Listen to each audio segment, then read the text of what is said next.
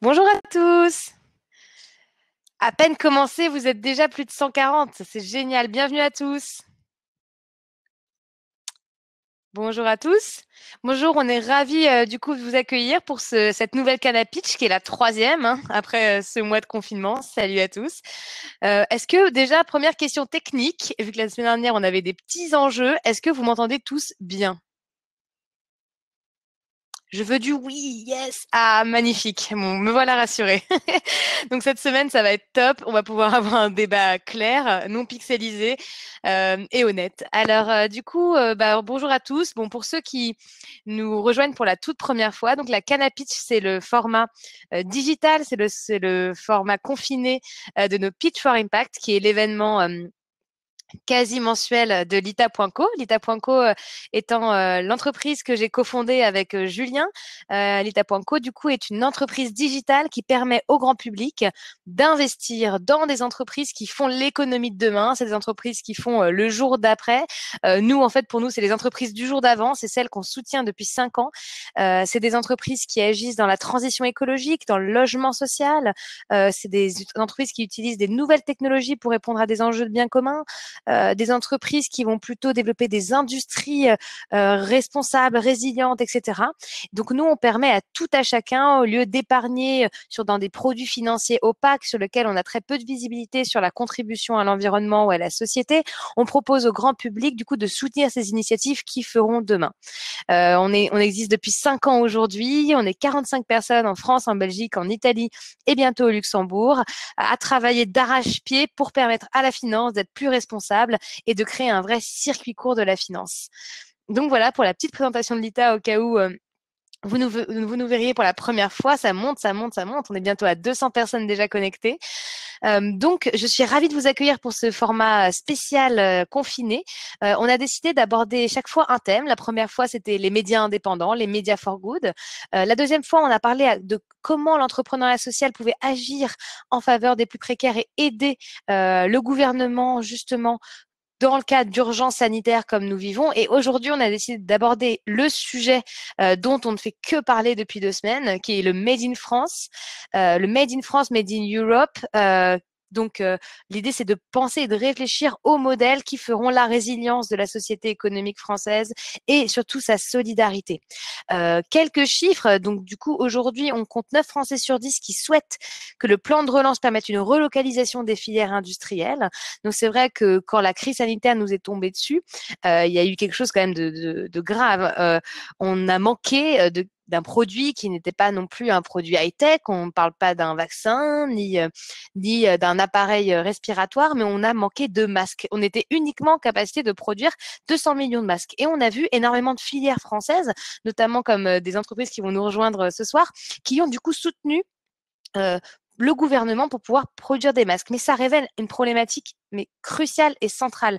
Aujourd'hui, la mondialisation qui, par plein d'égards, peut permettre euh, une libéralisation des cultures, euh, euh, un libre-échange des, personnes, etc., peut à d'autres égards être un vrai être responsable d'une vraie dépendance économique qui, dans le cas d'une crise sanitaire comme nous vivons, peut être très négative pour un pays et même causer sa perte à certains égards. Donc, il y a une vraie question à se poser de cette question du protectionnisme économique. Donc, ça extrêmement, extrêmement euh, fermé comme thèse, c'est quelque chose qu'on n'aime pas entendre. On aime penser une universalité, un, libéralisme des personnes et un libéralisme économique qui fonctionnerait, mais sauf qu'on ne peut faire que se rendre compte qu'il va falloir demain soutenir nos industries et relocaliser une partie de notre production euh, si nous souhaitons être résilients, notamment face aux crises. Et il y a vraiment un sujet à se poser. Protectionnisme économique veut-il dire protectionnisme tout court? Peut-être pas.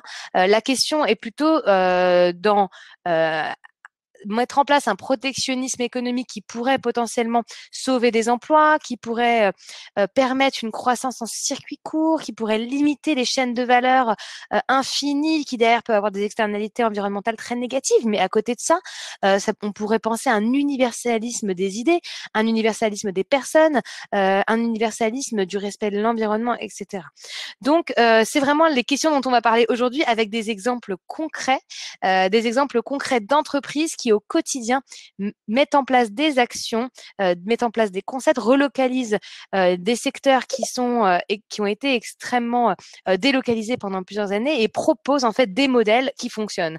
Parce que quand on parle de relocalisation du textile, notamment avant les belles initiatives qu'on va vous présenter, on dit mais c'est pas possible. Aujourd'hui, les coûts de production sont trop chers, les personnes n'ont pas les moyens, etc. Et on, va nous prouver que c'est faux et qu'il est possible de, avec en remettant en question le paradigme et l'injonction productiviste potentiellement, euh, de repenser des chaînes de valeur locales qui permettent quand même aux personnes de consommer quand ils en ont besoin. Et euh, je vais du coup finir par, euh, parce que ça c'est moi qui le dis, donc ça n'a pas beaucoup de crédit, vous me direz. Euh, donc je vais utiliser un de mes, un de mes piliers économiques sur cette terre. J'aimerais bien le voir au pouvoir un jour si c'est possible.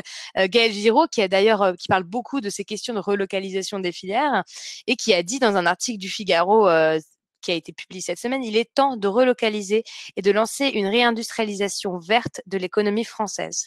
Voilà, on a euh, par cette crise à plein d'égards euh, très peur pour notre économie, mais nous, on essaye de voir ça comme une occasion de repenser nos industries et de les responsabiliser. Donc, euh, j'arrête avec euh, cette petite introduction euh, et je voudrais juste aussi vous faire une petite citation parce qu'à chaque fois, à chaque canapé, je vous fais un petit conseil, un petit conseil lecture pour essayer de penser notre économie, penser notre société différemment. Et là, aujourd'hui, je vais vous conseiller La Société ingouvernable de Grégoire Chamaillou qui nous permet vraiment de repenser l'État, de repenser l'entreprise et justement de casser un paradigme qui est que l'entreprise en soi, puisqu'elle est dans une lutte concurrentielle, est en guerre? Non. Ça, c'est une citation euh, d'Arthur Führer, un administrateur délégué du groupe Nestlé, qui incarne pour nous l'économie d'hier. Pour nous, l'économie de demain, c'est pas une économie en guerre. C'est une économie qui est ancrée sur les territoires. C'est une économie qui collabore. Oui, c'est Mercastor. pas mal. La dernière fois, c'était Fred et Jamie. Aujourd'hui, ce sera Mercastor euh, qui vous raconte des histoires, euh, mais des jolies histoires, parce que nous, on va essayer de penser cette économie non en guerre, une économie locale, solidaire et vertueuse. Bon, eh bien, c'était déjà euh, pas mal comme introduction. Si ça vous, si ça vous convient, on va passer à la première partie. Donc, très rapidement, avant qu'on commence, je vais vous expliquer un petit peu le fonctionnement de Livestorm. Donc, on est sur Livestorm, qui est une plateforme de, de stream de visio française. On essaie de, on essaie de soutenir c'est une plateforme vraiment géniale qui fonctionne super bien. J'espère que vous m'entendez euh, tous bien, que vous allez passer un bon moment. Alors, pour vous donner quelques instructions, donc on a à côté, vous voyez, un chat. Donc sur le chat, vous pouvez réagir, lever les mains, partager vos conseils, euh, lecture, faire, faire votre, des remarques sur ce que vous entendez, même débattre entre vous partie questions, du coup, là, c'est là que vous mettrez vos questions. Donc, à chaque fois, pendant les pitchs, pendant la table ronde du début, euh, vous allez pouvoir poser vos questions. Euh, vous allez pouvoir également les rater et voter pour les questions que vous préférez, que vous voudriez voir posées. Euh, moi, ce que je me permettrais de, du coup, reprendre vos questions et les poser aux intervenants. Et je me permettrai aussi potentiellement de vous inviter sur scène. vous n'êtes pas obligé d'accepter. Donc, si vous n'acceptez pas, je poserai simplement la question euh, moi-même et vous ne serez pas obligé de monter sur scène. Si jamais vous avez envie de monter sur scène, il vous reste quelques minutes pour aller mettre votre chemise. Euh, ensuite, il y a une partie sondage où là, on va vous poser des questions. On va faire un sondage sur l'ensemble des pitchs qui vous seront présentés. Euh, et puis, vous avez une partie participants. Vous pouvez retrouver du coup les personnes qui sont connectées et potentiellement échanger entre vous si vous avez apprécié ce que quelqu'un aurait pu dire. Voilà. Cet événement va se passer en deux parties. Une première partie, on a essayé d'ouvrir. On va commencer avec une table ronde avec deux entreprises qui étaient, qui ont été financées sur et qui ont fait euh, des campagnes exceptionnelles, qui sont Loom et 1083. Je n'en dis pas plus, euh, ils se présenteront mieux. Euh, pendant cette table ronde, on va aborder ce sujet du Made in France. Est-ce que le Made in France est le seul modèle? Comment le penser? Comment penser un Made in France aujourd'hui, à un moment où on essaie de construire l'Europe? Est-ce que le sujet sera dans un Made in Europe? Bon, voilà, on va aborder toutes ces questions-là à travers ces histoires entrepreneuriales, parce qu'ici, on parle de récit entrepreneurial, on essaie de créer l'engagement aussi à travers l'entrepreneuriat. Donc, c'est vraiment à travers leur récit entrepreneurial qu'on parlera de ce thème. Et puis ensuite, il y aura les trois pitchs, la session de pitch. Euh, les trois entrepreneurs auront à peu près 4 ou 3 minutes pour pouvoir du coup pitcher. On va avoir Make ici, BioBurger et Enerpack, trois entreprises qui incarnent ce Made in France, qui vont pitcher. Vous pourrez leur poser vos questions, vous pourrez voter. et là, l'idée, ce sera derrière ces entreprises de pouvoir les soutenir si vous avez aimé la présentation ou accéder à plus d'informations. Euh, entre chaque pitch aussi, j'inviterai mon cofondateur Julien qui euh, vous donnera euh, l'ensemble des, des raisons et pour lesquelles potentiellement soutenir ces initiatives et qui vous fera également une analyse en fait de ces entreprises qui a été faite en interne. Parce que l'ITA, on fonctionne comme une sorte de fond en fait. On va sélectionner les meilleures entreprises les plus résilientes et celles qui incarnent le nouveau modèle de demain, mais qui sont aussi pérennes économiquement en plus d'avoir un impact social j'arrête de parler, ça suffit. Et maintenant, je vais inviter mes deux euh, invités, du coup. Alors, je vais commencer par euh, Julia. Julia, qui est cofondatrice de Loom. Euh, du coup, Julia est une ancienne de la ruche qui dit oui. Elle a cofondé avec Guillaume Declerc Loom en 2017. L'objectif de départ était simplement de produire des vêtements de qualité aux antipodes de la mode classique. Et c'est un vrai projet de société qui produit moins mais mieux. Voilà, petit petit pitch d'entrée. Euh, donc d'abord, Julien, euh, donc je vais vous inviter un moment tous les deux sur scène et je voulais commencer par, avant euh, de passer au moment de débat, entendre un peu votre récit entrepreneurial. Qu'est-ce qui vous a poussé à, monter ces initiatives? Bah, Du coup, bah, tu l'as bien dit, nous, Loom, au début, c'était juste qu'on avait vu une opportunité business. Avec Guillaume Declerc, on se disait juste, c'est quand même incroyable que peu importe l'argent que tu mets dans, dans les vêtements que tu achètes, ça te dit rien sur leur qualité. Quoi. Tu peux payer 90 balles un polo, il peut quand même rétrécir euh, au bout de deux lavages. Donc au début, on s'est juste dit, bah nous, on va faire euh, des vêtements de bonne qualité au bon prix et, euh, et c'est sûr que ça va marcher. Quoi. Et c'est en fait en rentrant dans l'industrie textile et en commençant à s'intéresser à ces questions qu'on a compris qu'il y avait des problèmes éthiques qui dépassaient complètement euh, ce qu'on pouvait imaginer au début. Quoi. Il y a bien sûr les problèmes euh, de conditions de travail, de délocalisation, mais aussi des gros problèmes de dégradation de la qualité des vêtements euh, au fur et à mesure des années, sans compter les problèmes environnementaux qui sont essentiellement liés à, la surproduction et à la surconsommation de vêtements. Donc au, débat, au début, on était juste une bonne idée business. et en fait, on est venu. Au début, on voulait juste faire des fringues qui durent longtemps parce que on trouvait que ça manquait sur le marché.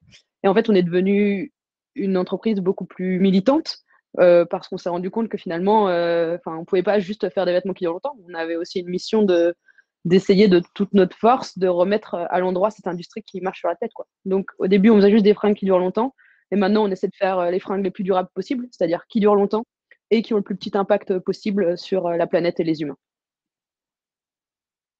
Et toi, pourquoi, pour toi, quand je te dis Made in France, euh, qu'est-ce que ça, qu'est-ce que ça incarne en toi? Est-ce que tu, qu'est-ce que tu penses du coup de ce nouveau mouvement qui pousse la relocalisation des bah, filières? Je pense que, je pense qu'il est nécessaire. Et, moi, mon point de vue, il va être. Euh, je parle pas du même endroit que Thomas, qui lui est un industriel et qui du coup lui recrée euh, des entreprises en France. Moi, je parle du point de vue d'une marque, c'est-à-dire que moi, je, je, contacte des usines et je leur demande de produire pour moi mes modèles de vêtements.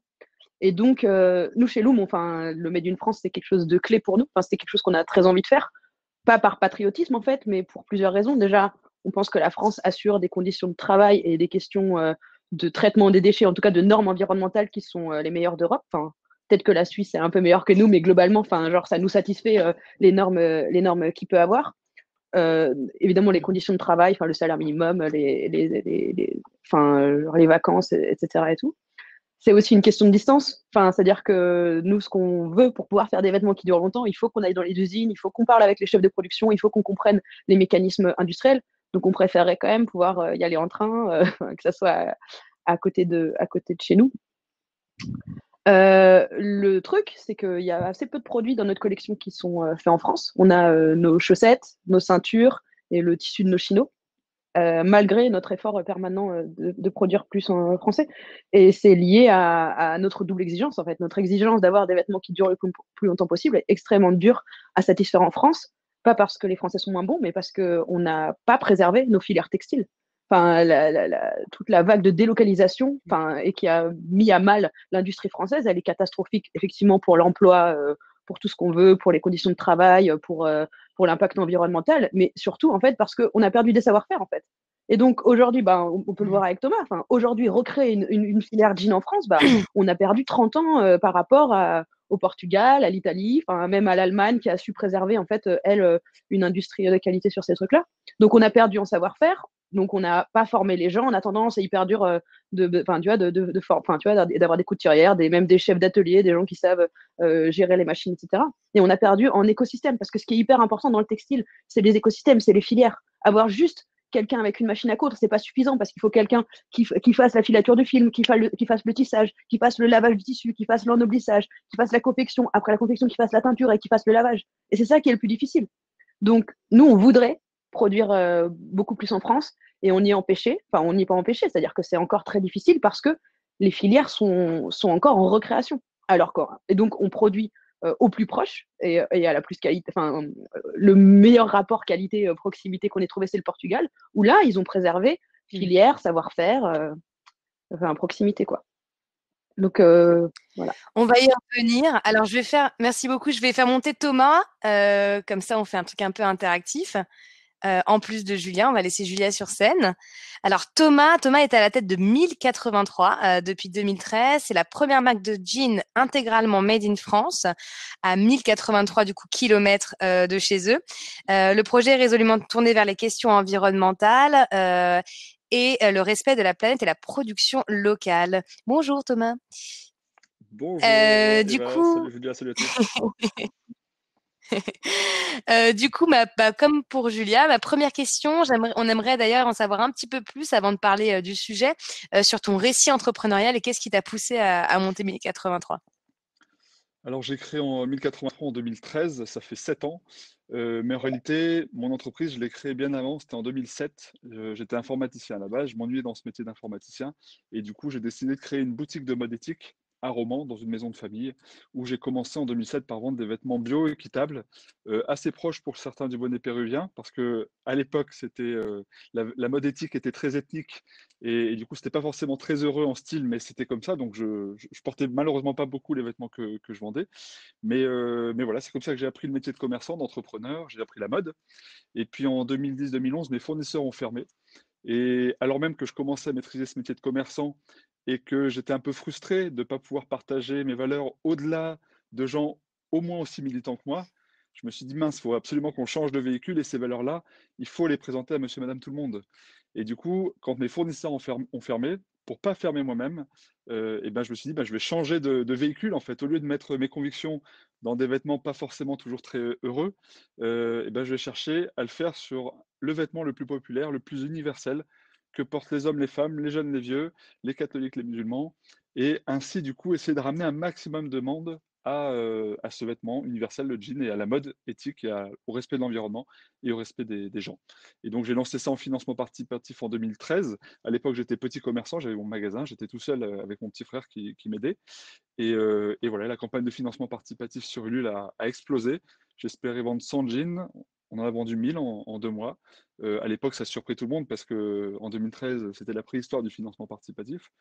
Euh, et, voilà, six ans plus tard, eh bien, on, fait, on est passé de 200 000 euros de chiffre d'affaires à 8 millions et on a créé plus de 150 emplois dans la, dans la filière française avec une, euh, une volonté bornée qui est de relocaliser l'ensemble de la fabrication d'un jean, non pas pour que tout soit franco-français, mais pour rapprocher les consommateurs des fabricants responsabiliser le consommateur sur ce qu'il achète et gratifier le fabricant de son métier euh, qui a de la valeur quand euh, on mesure un peu euh, ben, le savoir-faire qu'il faut pour faire un jean ou, plein de produits en général.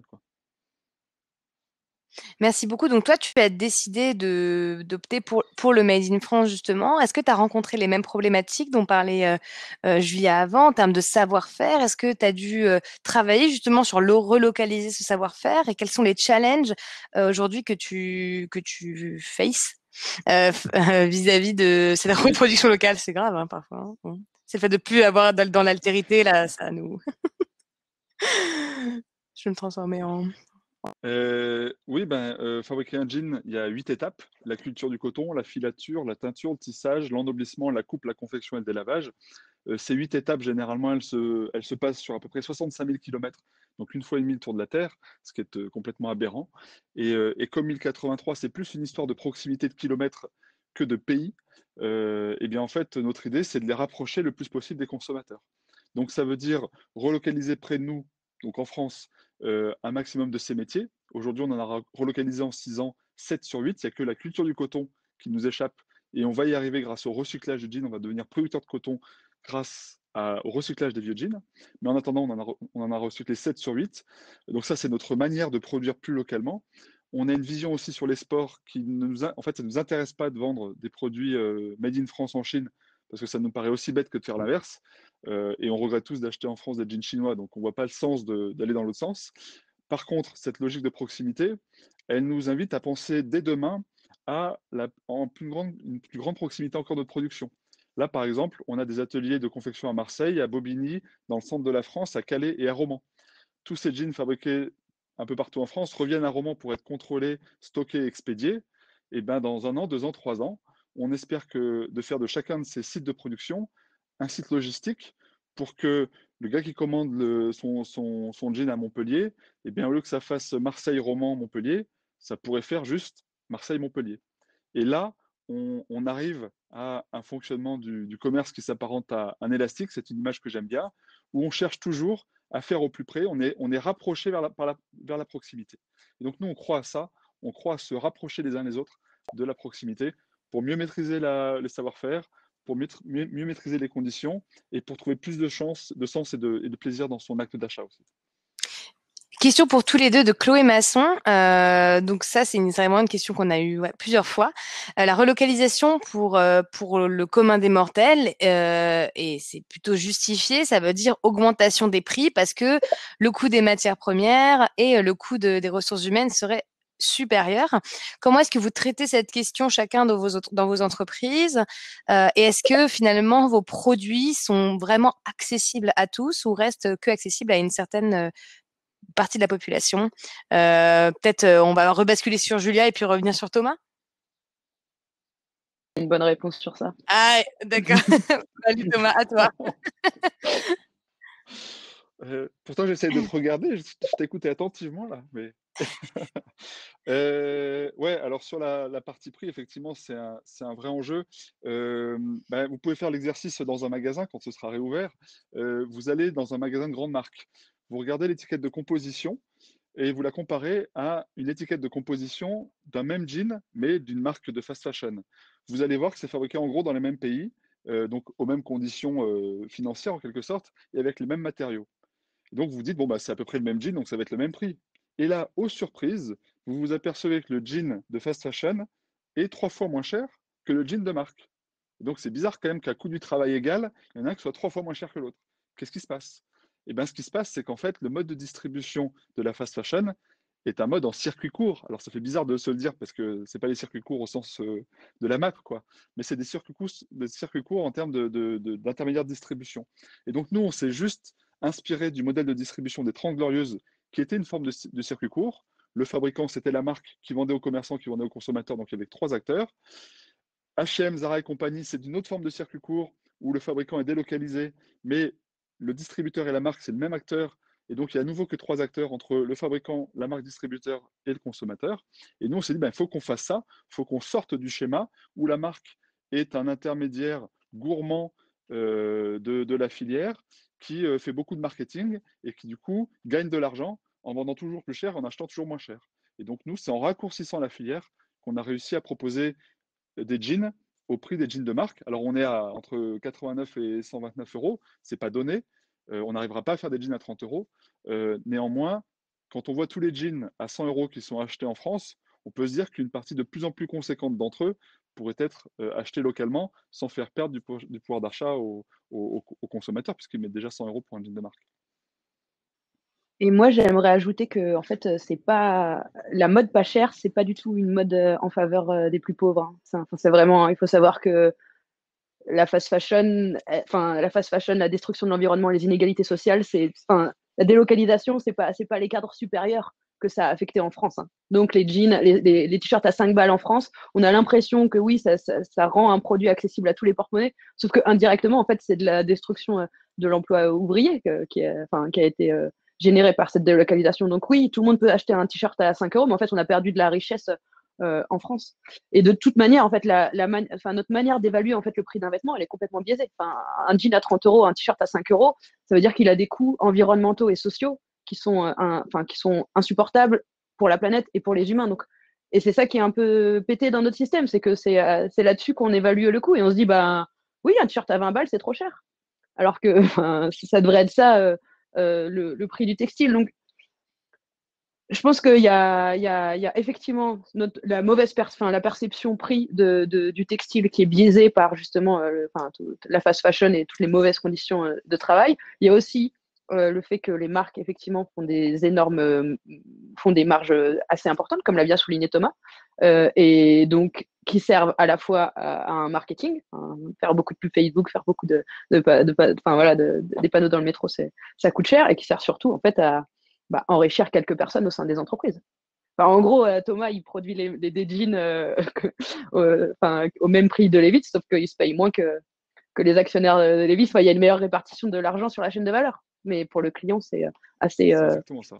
sur le client, c'est assez, assez un dollar. C'est juste que nous, nos marques gagnent moins que les, que les marques qui vendent au même prix. C'est juste ça. On, on, décide de faire moins d'argent. On décide de faire moins de marge et de mieux répartir les valeurs. J'aime beaucoup ce témoignage parce que c'est très marxiste hein, à certains égards. Euh, c'est qu'en fait, c'est le grand mensonge finalement, hein, selon lui, du capital. Euh, c'est que euh, justement, en surproduisant et en permettant aux gens de consommer, on leur a fait croire que ce, ce, nouveau monde allait leur apporter une meilleure, un meilleur niveau de vie, alors qu'au final, en fait, ce niveau de vie est permis par l'aliénation de leurs conditions. Et puis, du coup, c'est un cercle vicieux.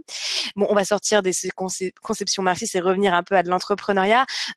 Question qui, a eu beaucoup de, de succès, c'est comment calculez-vous l'impact du coût de vos entreprises? Parce que c'est vrai que je pense que le, consommateur ou l'investisseur a besoin de comprendre bah, bah, combien de tonnes de CO2 éviter ou quels sont vraiment les impacts en termes de conditions de travail réelles. Voilà. Donc, comment est-ce que vous, sur chacune de vos entreprises, vous calculez l'impact? Calcule ton impact, Thomas, toi? Moi, j'ai un avis assez tranché sur les calculs d'impact. Euh, je trouve que c'est. Enfin, on a tendance à calculer l'impact au niveau individuel d'un produit. Et du coup, globalement, c'est l'équivalent de carbone euh, qui est émis. Donc, si tu fais un t-shirt euh, de très mauvaise qualité, hyper fin, eh ben, il va avoir un impact individuel très, très petit. Donc, il y a vraiment un truc où, enfin, en tout cas, la manière actuellement d'analyser, enfin, en tout cas, l'impact individuel des produits n'est pas une bonne chose. Mmh. Parce qu'on parce qu'on on, on, analyse à l'échelle individuelle. Et sur, donc, déjà, on, ne tient pas compte de la durée de vie parce qu'un un, t-shirt qui, euh, consomme par exemple 16 kg d'équivalent carbone, euh, on peut penser que c'est mieux qu'un t-shirt qui en consomme 20, sauf que celui qui consomme 16 équivalents carbone, s'il dure seulement un an, alors que celui qui est un peu plus lourd dure, dure 3 ans, au global, on voit bien que, le, bilan n'est pas du tout comparable. Donc, ne pas tenir compte de la durée de vie des produits, de leur calcul d'ACV, de, bah, c'est biaisé en fait. C'est une manière de favoriser en fait les gens qui mettent sur le marché euh, des produits de mauvaise qualité. Et la, deuxième chose, c'est que c'est aussi une manière de ne pas réguler le nombre de produits qui sont mis sur le marché.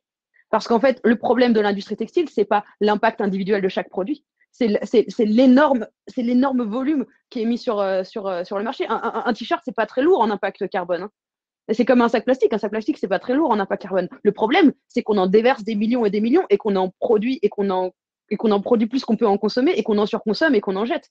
Donc c'est pour ça que euh, toutes les analyses de cycle de vie ou d'impact qui se font à l'échelle d'un produit sont un peu biaisées, tant qu'elles ne tiennent pas compte en tout cas de la durabilité euh, d'un produit. Et en termes d'impact global, en fait, ce qu'il faudrait arriver à analyser, c'est, enfin, nous, en tout cas chez Loom, c'est genre combien de vêtements on a évité que les gens achètent. Et ça, c'est hyper dur à dire. Donc, moi, j'ai envie de dire que notre impact en termes, en de marque, je ne sais pas s'il est énorme. Enfin, je ne sais pas si ça change grand-chose que vous achetiez un t-shirt chez Loom ou un t-shirt chez H&M. Par contre, notre impact, il peut être grand si, vous, le, message qu'on dit, c'est-à-dire n'achetez pas de vêtements si vous n'en avez pas besoin, euh, bah, ça peut être ça notre. Euh, euh, un impact hyper dur à mesurer, mais qui pour nous est le, plus puissant. Quoi. nous, de notre côté, on, on ne calcule pas parce qu'on est au taquet sur les la progression continue et en fait, on ne fait pas beaucoup d'efforts pour pour euh, qualifier, marketer cette progression continue, mmh tellement on est sur un autre registre des marques concurrentes, euh, celles, que, celles qui viennent du bout du monde. Euh, on relocalise tout à proximité. En fait, pour nous, le, moyen le plus puissant de savoir ce qu'on achète en tant que consommateur et nous, en tant qu'entrepreneurs par rapport à notre filière, c'est la proximité. Quand on est proche les uns des autres, quand on est proche des conséquences des choix qu'on fait, alors c'est plus fort que nous, ça nous engage, on est plus vigilant, on est plus vertueux. Et du coup, c'est grâce à cette proximité, selon nous, qu'on va être les plus raisonnables, mais non pas de manière intellectuelle, parce que euh, c'est mieux. Euh, c'est pas d'écrire fumer dessus sur un paquet de clubs qui fait que les gens arrêtent de fumer.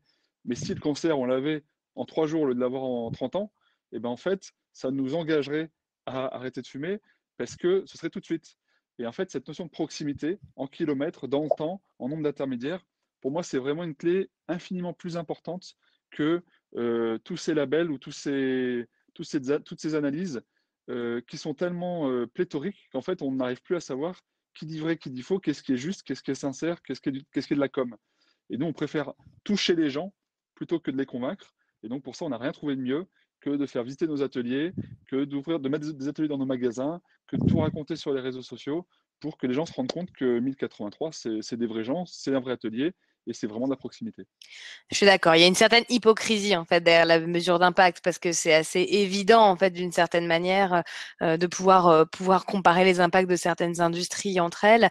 Et c'est vrai qu'il y a une question centrale qui aujourd'hui n'est pas encore adressée. C'est vrai qu'on arrive à sensibiliser le grand public sur la question d'utilité sociale des entreprises, mais une question centrale dont on ne parle peu parce que c'est très tabou l'argent en France, euh, c'est du coup la redistribution des richesses euh, et l'indépendance financière des entreprises pour leur euh, parce que finalement on sait que dans la thèse économique que ce qui amène à une entreprise à faire des choix en faveur de ses salariés ou en faveur de son environnement, c'est pour répondre aux attentes des actionnaires d'une certaine manière. comment est-ce qu'on fait quelle. Bon, je vous pose la question, c'est pas pour nous faire un peu de pub, mais bon, c'est aussi pour pouvoir faire de la pub dans le concept en soi euh, de l'indépendance financière et de l'actionnariat solidaire. Comment vous l'avez traité chez vous et pourquoi vous avez décidé l'un et l'autre euh, de recourir euh, à l'investissement des citoyens sur la plateforme de l'ITA et quel a été votre cheminement intellectuel derrière? On commence par qui? Bah, moi, moi, je vais raconter un peu. Nous, on a, nous, en fait, on, on a eu besoin d'argent pour accompagner notre croissance. C'était assez cool comme, euh, comme moment, c'est-à-dire qu'on avait euh, plus de gens qui. un problème que tu as eu aussi, Thomas, c'est-à-dire qu'on avait plus de demandes que d'offres. Donc, on a eu une période où on était beaucoup en rupture de stock sur notre site. Et euh, on a eu un problème de trésorerie, c'est-à-dire qu'on n'avait pas assez d'argent à avancer à nos fournisseurs pour qu'ils puissent produire suffisamment pour répondre à la demande sur notre site problème de riches. Euh, et donc à ce moment-là, euh, bah, euh, voilà, on s'est dit qu'on allait lever des fonds. Au début, on voulait emprunter aux banques, sauf que les banques ne prêtent pas. Enfin, on n'a pas trouvé de banque qui, a qui nous prêtait à nous, jeune entreprise en ligne et qui fait des vêtements. J'espère que les choses vont changer et tout, mais à cette époque-là, on n'a pas trouvé. Donc, ce qu'on s'est dit, c'est qu'on allait faire une levée de fonds, c'est-à-dire céder une partie du capital de notre entreprise en échange d'argent. Euh, et donc, ce qui se fait classiquement dans le monde des jeunes entreprises, c'est de, lever auprès de fonds d'investissement ou de gros business angels. Et on n'y connaissait pas grand-chose à ce secteur, mais ce qu'on a compris, c'est que quand tu fais rentrer un fonds d'investissement ou un business angel euh, dans ton capital, lui, la seule chose qui l'intéresse, c'est de récupérer beaucoup d'argent à la fin. Or, nous, notre, notre, notre, euh, notre ambition, c'est de changer l'industrie textile. Et si on, si on se souvient de ce qu'on a dit au début, le premier problème de l'industrie textile, c'est la surproduction et la surconsommation. Donc, avoir quelqu'un qui veut faire un max d'argent euh, avec ton entreprise, il va forcément te pousser à croître toujours plus, à produire toujours plus, à vendre toujours plus. Donc, c'est la seule manière, en fait, de rendre cohérente notre mission, c'est-à-dire celle de produire moins mais mieux, c'est-à-dire celle de réduire globalement la production globale et la, et la consommation globale de vêtements, c'est de faire rentrer à notre capital des investisseurs qui aient la possibilité de, de, respecter cette mission. C'est-à-dire des gens qui n'espèrent pas euh, bah, faire le jackpot en investissant chez nous, c'est-à-dire qui n'espèrent pas faire x10, mais euh, qui espèrent euh, une rentabilité bah, genre normale, comme si tu mettais ton argent sur un PEL ou, ou, ou, ce, ce, genre de choses. Et pour ça, en vrai, les, les, seules personnes qui acceptent de faire ça, c'est les personnes qui comprennent à la fois les questions financières, mais aussi les questions éthiques. Et nous, de notre expérience, en fait, ce qu'on a compris, c'est que les fonds d'investissement ou les gens qui sont spécialisés dans l'investissement n'arrivent pas à tenir compte des questions éthiques. ils peuvent en tenir compte seulement si ça maximise euh, en fait euh, leur, euh, leur, profit financier. Donc, on a décidé de faire une levée de fonds auprès de particuliers en leur expliquant en toute transparence ce projet. Quoi. Et pour nous, c'était la garantie de ne jamais faire la course à la croissance. Ce qui ne veut pas dire qu'on ne veut pas être rentable. Nous, on veut être rentable. On, est une entreprise qu'on veut se développer. Enfin, on, on est une entreprise qu'on veut se développer. enfin, on veut se développer, etc. Enfin, et c'est ce qui se passe. Sauf que on ne doit pas euh, vendre pour croître, enfin la croissance en soi ne doit pas être un objectif en fait. À partir du moment où pour croître, on va devoir inciter les gens à surconsommer et on va devoir générer de la surproduction, la raison, enfin notre entreprise ne devrait pas exister en fait. Sinon, elle ne ferait que ajouter au, problème. Donc c'est pour ça qu'on a fait euh, une levée de fonds euh, sur l'ITA.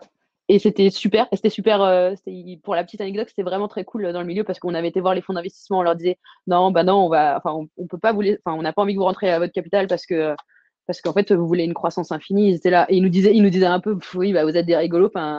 Tout le monde fait comme ça dans le, dans le milieu.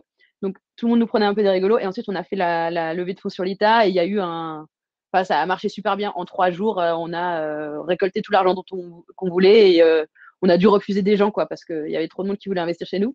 Et ça a complètement changé, en fait, la vision du monde traditionnel économique sur notre entreprise tout à coup, il y avait une crédibilité et surtout, c'était comme si le monde économique découvrait qu'en fait, il y a une puissance des investisseurs individuels qui est super parce que lever de l'argent en trois jours, ça n'existe pas pour les entreprises traditionnelles. C'est des heures et c'est des semaines et des semaines de négociations avec les fonds, d'échanges de contrats, de trucs comme ça. Donc, on a, en fait, c'était hyper cool cette euh, levée parce que non seulement ça nous laisse bah, la liberté de, poursuivre notre éthique, mais en plus, on a fait ça beaucoup plus rapidement qu'avec n'importe quelle levée classique. Merci beaucoup. Donc, ça, Loom, euh, c'était à peu près ouais, plus de 500 000 euros, c'est ça, en 2-3 jours euh, que vous avez pu lever. Et c'est vrai qu'une levée de fonds, comme on dit, en seed euh, ou en série A ou je ne sais, sur ces montants-là, euh, c'est effectivement un, un, acharnement et un temps de travail fou avec avec des actionnaires. Et, et là, euh, les équipes étaient, étaient folles. Elles, elles devaient refuser euh, du coup des, des nouvelles personnes qui avaient envie de s'engager dans le projet. Donc, euh, c'est pas une question euh, d'argent en fait. Hein, le problème en France, c'est plutôt une question de connaissance. Et il faut mettre ces outils accessibles au grand public pour qu'ils puissent se les approprier. Et toi, Thomas, quelle a été ton expérience et pourquoi est-ce que vous avez décidé de recourir à, à alors déjà, comme je l'ai dit tout à l'heure, euh, l'entreprise existe depuis 2007, c'était un petit commerce, et puis ça a avancé de manière itérative. Et du coup, on n'a presque jamais eu besoin de lever des fonds jusqu'en 2018, euh, parce qu'en fait, euh, bah, on était rentable, et, enfin on est toujours rentable, et en fait, l'idée c'était simplement qu'on garde, on n'a jamais pris de dividendes dans l'entreprise pour tout réinvestir et avoir les moyens de financer notre mission, notre projet, qui est d'année chacun produire et consommer dans l'économie circulaire. Et donc ça fait 13 ans qu'on a cette mentalité-là, on, on sème et on, construit. et en fait, l'an dernier, on a eu des enjeux plus importants pour un projet déménagement dans un site industriel de Romans, l'ancienne usine Jourdan. plus on avait un besoin de fonds de roulement qui augmentait, parce qu'en fait, plus on grandit, plus on a besoin de financer du stock. Et nous, nos profits passés ne suffisaient pas à financer les besoins de stock supplémentaires à venir. Donc, du coup, on a fait une première levée de fonds avec des investisseurs, des fonds éthiques, qu'on a capé, dont on a capé euh, le, rendement euh, pour, la, pour, une raison très simple, c'est qu'en fait, euh, si vous. Donc, déjà, il y a des investisseurs, la, enfin, la plupart des investisseurs ont un logiciel en effet focus sur la rentabilité. C'est pas, c'est pas, c'est pas, c'est la majorité, c'est pas l'unanimité. et en fait, nous, on avait trop peur de trouver un bon investisseur là. Et puis, si on travaille bien, si la boîte se développe, alors dans cinq ans, quand le fonds d'investissement va vouloir partir, eh ben, il va vouloir vendre ses parts. C'est normal, c'est comme ça qu'il gagne de l'argent, de la même manière que nous, on gagne de l'argent en vendant des jeans. Lui, il en vend, il gagne de l'argent en prêtant de l'argent. Et, le truc, c'est que si la boîte que l'on a contribué à développer s'est tellement développée qu'elle vaut très cher, alors les parts de ces investisseurs qu'on aime bien sont devenues si chères qu'on est incapable de financer le rachat de leurs parts. Ça veut dire qu'en gros, euh, bah, comme on ne peut pas racheter les parts, il est obligé de vendre ses parts à quelqu'un d'autre. Et alors il y a un problème, c'est qu'en fait, on va se retrouver marié à quelqu'un qu'on n'a pas choisi, puisqu'en fait, dans le pacte d'actionnaires, ce sera très certainement écrit, même s'il y a des négociations, etc., le fait qu'au final, bah, c'est lui qui va choisir. Donc c'est en gros, euh, c'est comme Eva, si ton, ton copain, il te quitte, et puis il dit, mais t'inquiète pas ma chérie, je vais te présenter Frédéric, et donc à partir de maintenant, tu vas vivre pendant cinq ans avec Frédéric. À bientôt, bonne chance. Et bien en fait, c'est ce qui se passe avec la logique des fonds d'investissement. Et ça, pour moi, c'est pas possible. Donc, euh, donc j'ai fait cette, cette démonstration-là à tous les fonds d'investissement que j'ai rencontrés. heureusement, la visibilité et le crédit qu'avait 1083 euh, ben, euh, a fait que j'ai jamais couru après des investisseurs et c'est eux qui me démarchaient. Et comme ils me démarchaient, ben, en fait, tous convenaient que la démonstration était imparable. Par contre, peu d'entre eux avaient les capacités d'accepter de limiter leurs revenus. Et moi, je leur ai juste dit, je veux que vous gagnez de l'argent, il n'y a pas de problème. Mais une fois qu'on a rémunéré le coût de votre argent, le coût de vos charges, le profit que vous voulez faire et le coût du risque, et eh ben en fait, stop, on arrête là les profits. On a tout payé, on respecte votre modèle économique. Et sauf que les fonds d'investissement ne calculent pas vraiment le coût du risque. Ils sont plutôt, ils sont plus en mode joueur parieur qu'en mode euh, gestionnaire. Et du coup, moi, je leur ai simplement dit, bah, calculez-moi le, coût du risque de votre portefeuille de participation. Si je suis euh, dans cette cible de portefeuille de, participation, à ce moment-là, dès qu'on a couvert votre risque, eh ben stop, ça s'arrête. Et, euh, et, certains d'entre eux ont accepté. Donc c'est Inco, c'est euh, Terre et c'est le Crédit Agricole. Et donc ils sont limités dans leurs profits. Et grâce à ça, quand ils vont sortir, eh bien, plus on progressera, plus l'entreprise sera grande, plus ce sera facile pour nous de reprendre leur part et donc de garantir notre, notre liberté. Ça, c'est la première étape qu'on a fait, c'était en 2018. Et en 2020, il y a quelques semaines, on a fait euh, donc un, un, emprunt participatif sur l'ITA. on voulait lever entre 500 000 euros et 1 million d'euros en vrai, pour rire, on a dit bah, 1,83 million, c'est rigolo. Et puis, euh, et puis en 12 heures, on a levé 1,83 million000 euros de dette. Donc euh, ça nous a surpris tous, euh, nos banquiers, notre communauté, nous-mêmes. Et on trouve absolument génial d'impliquer encore plus notre communauté en les associant ben, dans la vie économique financière de l'entreprise. Et comme tout chez 1083 est transparent, qu'on partage tout sur nos réseaux sociaux, dans nos ateliers, dans des bouquins, etc et bien là, une fois de plus, ça permet d'impliquer de, les gens, de les toucher plus que de les convaincre, et du coup de, grossir la communauté.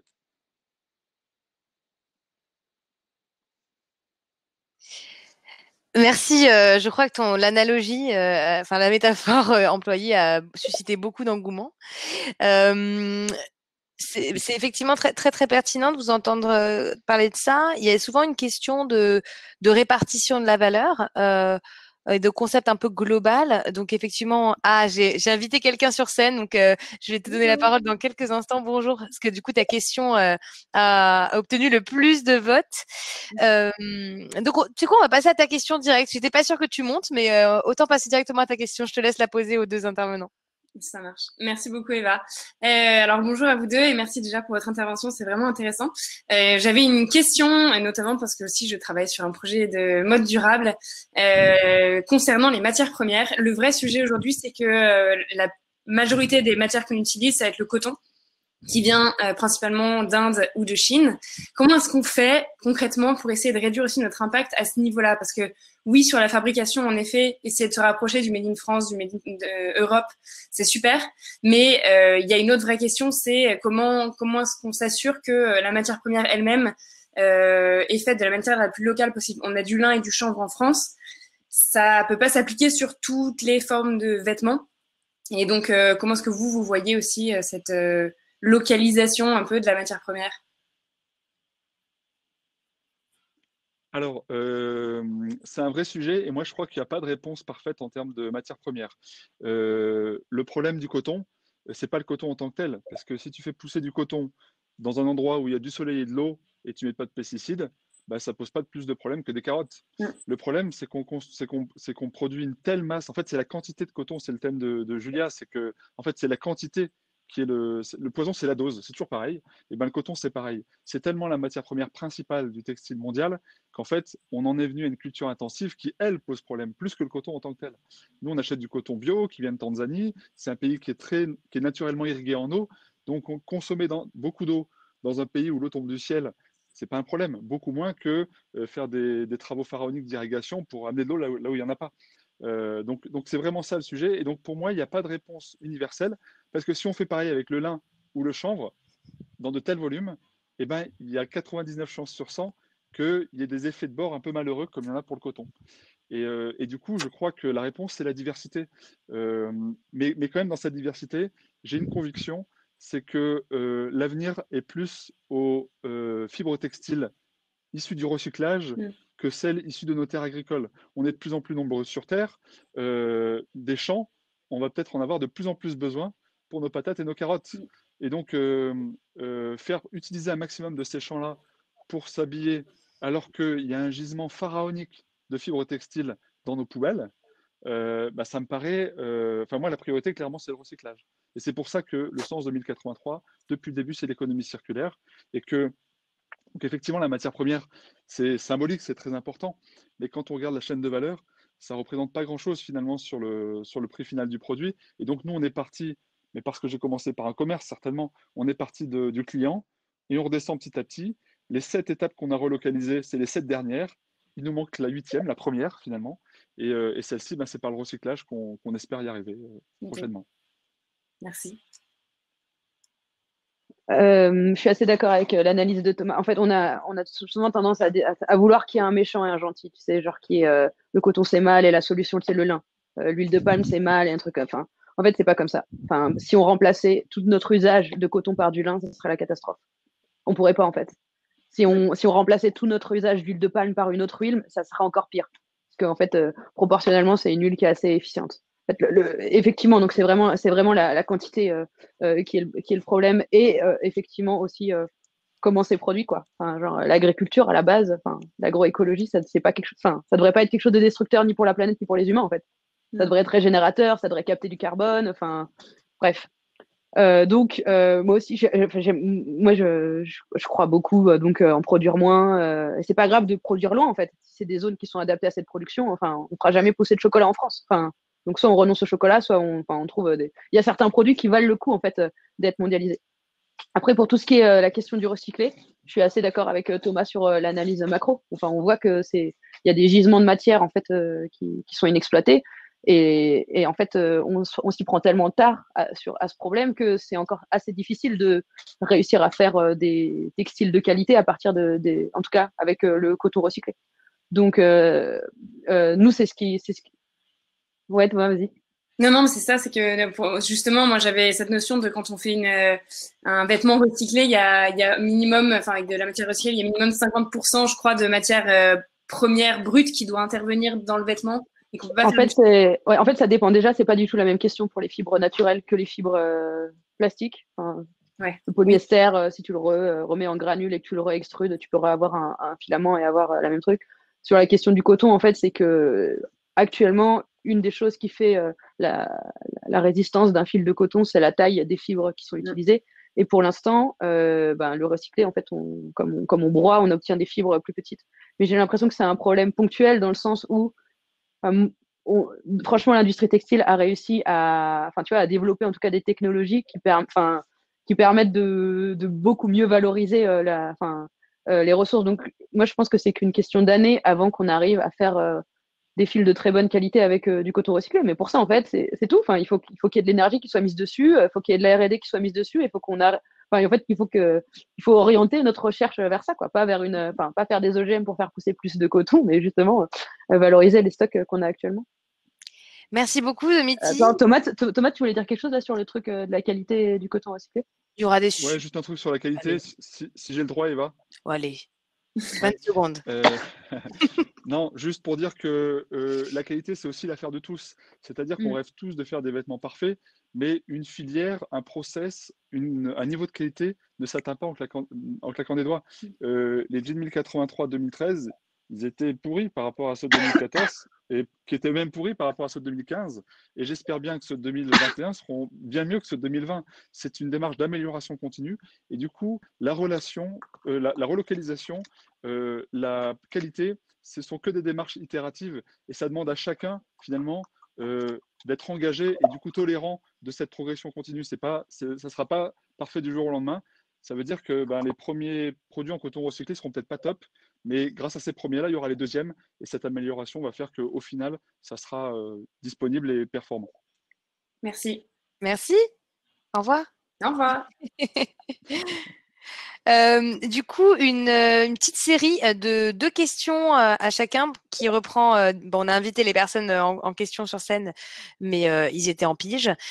du coup, les deux questions, c'est par rapport en, comparaison à, l'industrie du coup classique. On va prendre Levis dans le cas de 1083, puis on prendra allez, H&M dans le cas de, de Loom.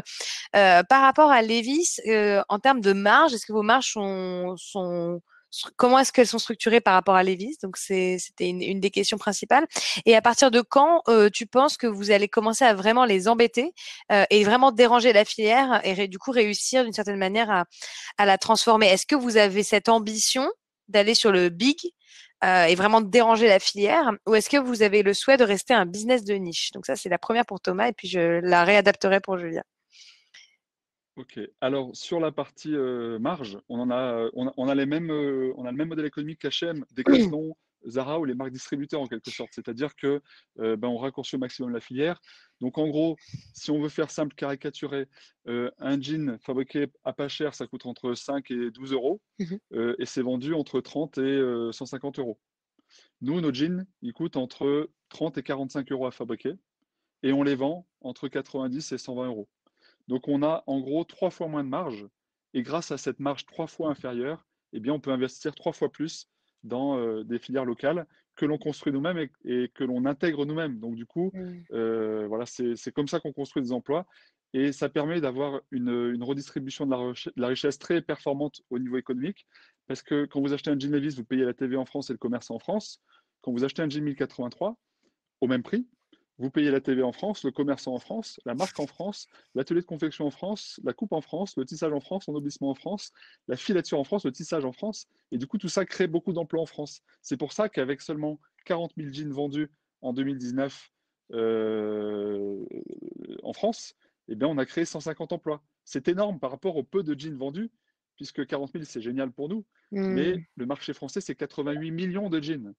Donc ça m'amène à la deuxième euh, question qui est euh, comment, euh, quelle est notre ambition? Bah, En fait, on ne sait pas. Il y a six ans, sept ans, quand on a, démarré, jamais de la vie, j'aurais imaginé qu'on aurait un atelier de confection, qu'on aurait une filature et un tissage dans les Vosges, qu'on serait si nombreux à porter aujourd'hui ces valeurs-là. et en fait, on n'a pas de limite. Moi, je ne crois pas que, petit ce soit forcément vertueux et gros ce soit forcément vilain. ça serait si simple, ça serait... mais il y, a des associations qui, font de la merde et il y a des entreprises qui font des choses bien. Donc les statuts et la taille ne font pas la vertu pour moi. Et, du coup, on n'a pas de limite. par contre, on a une boussole claire, c'est notre mission.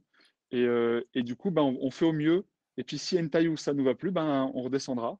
Avec une ambition profonde, c'est celle de diminuer le nombre de jeans qui seront vendus chaque année en France. Notre succès, finalement, c'est un peu ce que disait Julia aussi. Notre succès, c'est pas de vendre 44 millions de jeans sur 88 millions on aura réussi si demain, on n'achète plus 88 millions de jeans en France, mais peut-être 50. Et pour ça, il faut promouvoir le fait de consommer moins mais mieux. Et donc, nous, on doit être les artisans de ce moins mais mieux. Et c'est ce qu'on propose. Merci. Euh, du coup, je repose la question à, Julia euh, par rapport à H&M. Donc, euh, comment sont structurées vos marges et quelle est votre ambition en, termes de en termes de part de marché dans dans l'absolu? Est-ce que vous voulez rester un business de niche ou pas? Non, je sais pas ce que ça veut dire en fait. tu vois, genre, en vrai, je sais pas ce que c'est les marges d'H&M. Moi, je peux te dire, enfin, tu vois, genre, un chino chez moi, euh, il me coûte, euh, attends, je suis en train de regarder mes tableaux de prix, donc ça coûte 31 euros de produire un chino. Euh, tu vois, je l'achète en fait à l'usine comme ça, donc avec la matière, nanana, etc. Là-dessus, tu dois rajouter nos charges fixes, le site internet, les salaires, etc. Et à la fin, je le vends 75 euros. Donc globalement, à la fin, il me reste. Non, c'est pas, pardon, pardon. Donc ça me coûte 31 euros à acheter à mon, usine. Et ensuite, il y a tous les frais logistiques, la mise en stock, la préparation des commandes, la livraison au client qui la plupart du temps est, est inclus dans, dans, la commande. Et donc à la fin, il me reste 30% de ça pour couvrir tous mes frais fixes, c'est-à-dire les salaires, les loyers, etc. Donc je sais qu'on a, enfin je pense que c'est à peu près euh, le modèle aussi de, c'est à peu près le taux de marge qu'appliquent euh, les les Zara, H&M et les mm. et Decathlon, etc. Euh, voilà. Et comment est-ce en fait la vraie différence Ils pas cher? Ouais, voilà, c'est ça qu'ils achètent pas cher. La vraie différence c'est que moi j'achète, si tu veux, j'achète le chino 31 euros alors que je pense que H&M le vend 25 euros. Donc c'est à dire mm. que ça, à produire euh, le produit lui coûte euh, genre 10 fois moins cher. Là, je le vois pour les chaussures. je suis en train de, je suis en train de développer des baskets. Elles me coûtent euh, genre 50 euros à produire et je sais que des Stan Smith, ça coûte 5 euros. Donc, il y a un vrai truc, genre, c'est plutôt, c'est plutôt à, ce niveau-là que, que, c'est flagrant. Super. Et oui, et comment, et comment on se voit, comment on se voit, comment on se voit à l'avenir Enfin, dans le textile, en fait, moi, je crois pas qu'il y ait une espèce, enfin, en fait, toute cette vision de, tu vois, de prendre des parts de marché, d'être un gros acteur, d'avoir un truc monopolistique. Pour moi, le, pour moi, euh, la santé d'un secteur, c'est quand il y a plein d'acteurs dedans et quand, et quand ça marche en écosystème, quand ça marche en forêt, quoi. Enfin, personne n'a envie qu'il y ait que des jeans 1083 sur Terre, quoi. On a envie qu'il y ait des jeans 83, qu'il y ait des jeans Tuffery. Enfin, moi, j'ai pas envie que tout le monde s'habille en loom, j'ai envie que les gens s'habillent en, en, en loom, en 1083, en, euh, au juste, en opale, euh, en les récupérables. Enfin, j'ai pas envie d'être toute seule sur le marché et de niquer la concurrence parce que ça, vraiment, ça m'intéresse pas. J'ai envie, envie qu'il y ait des écosystèmes qui s'entraident.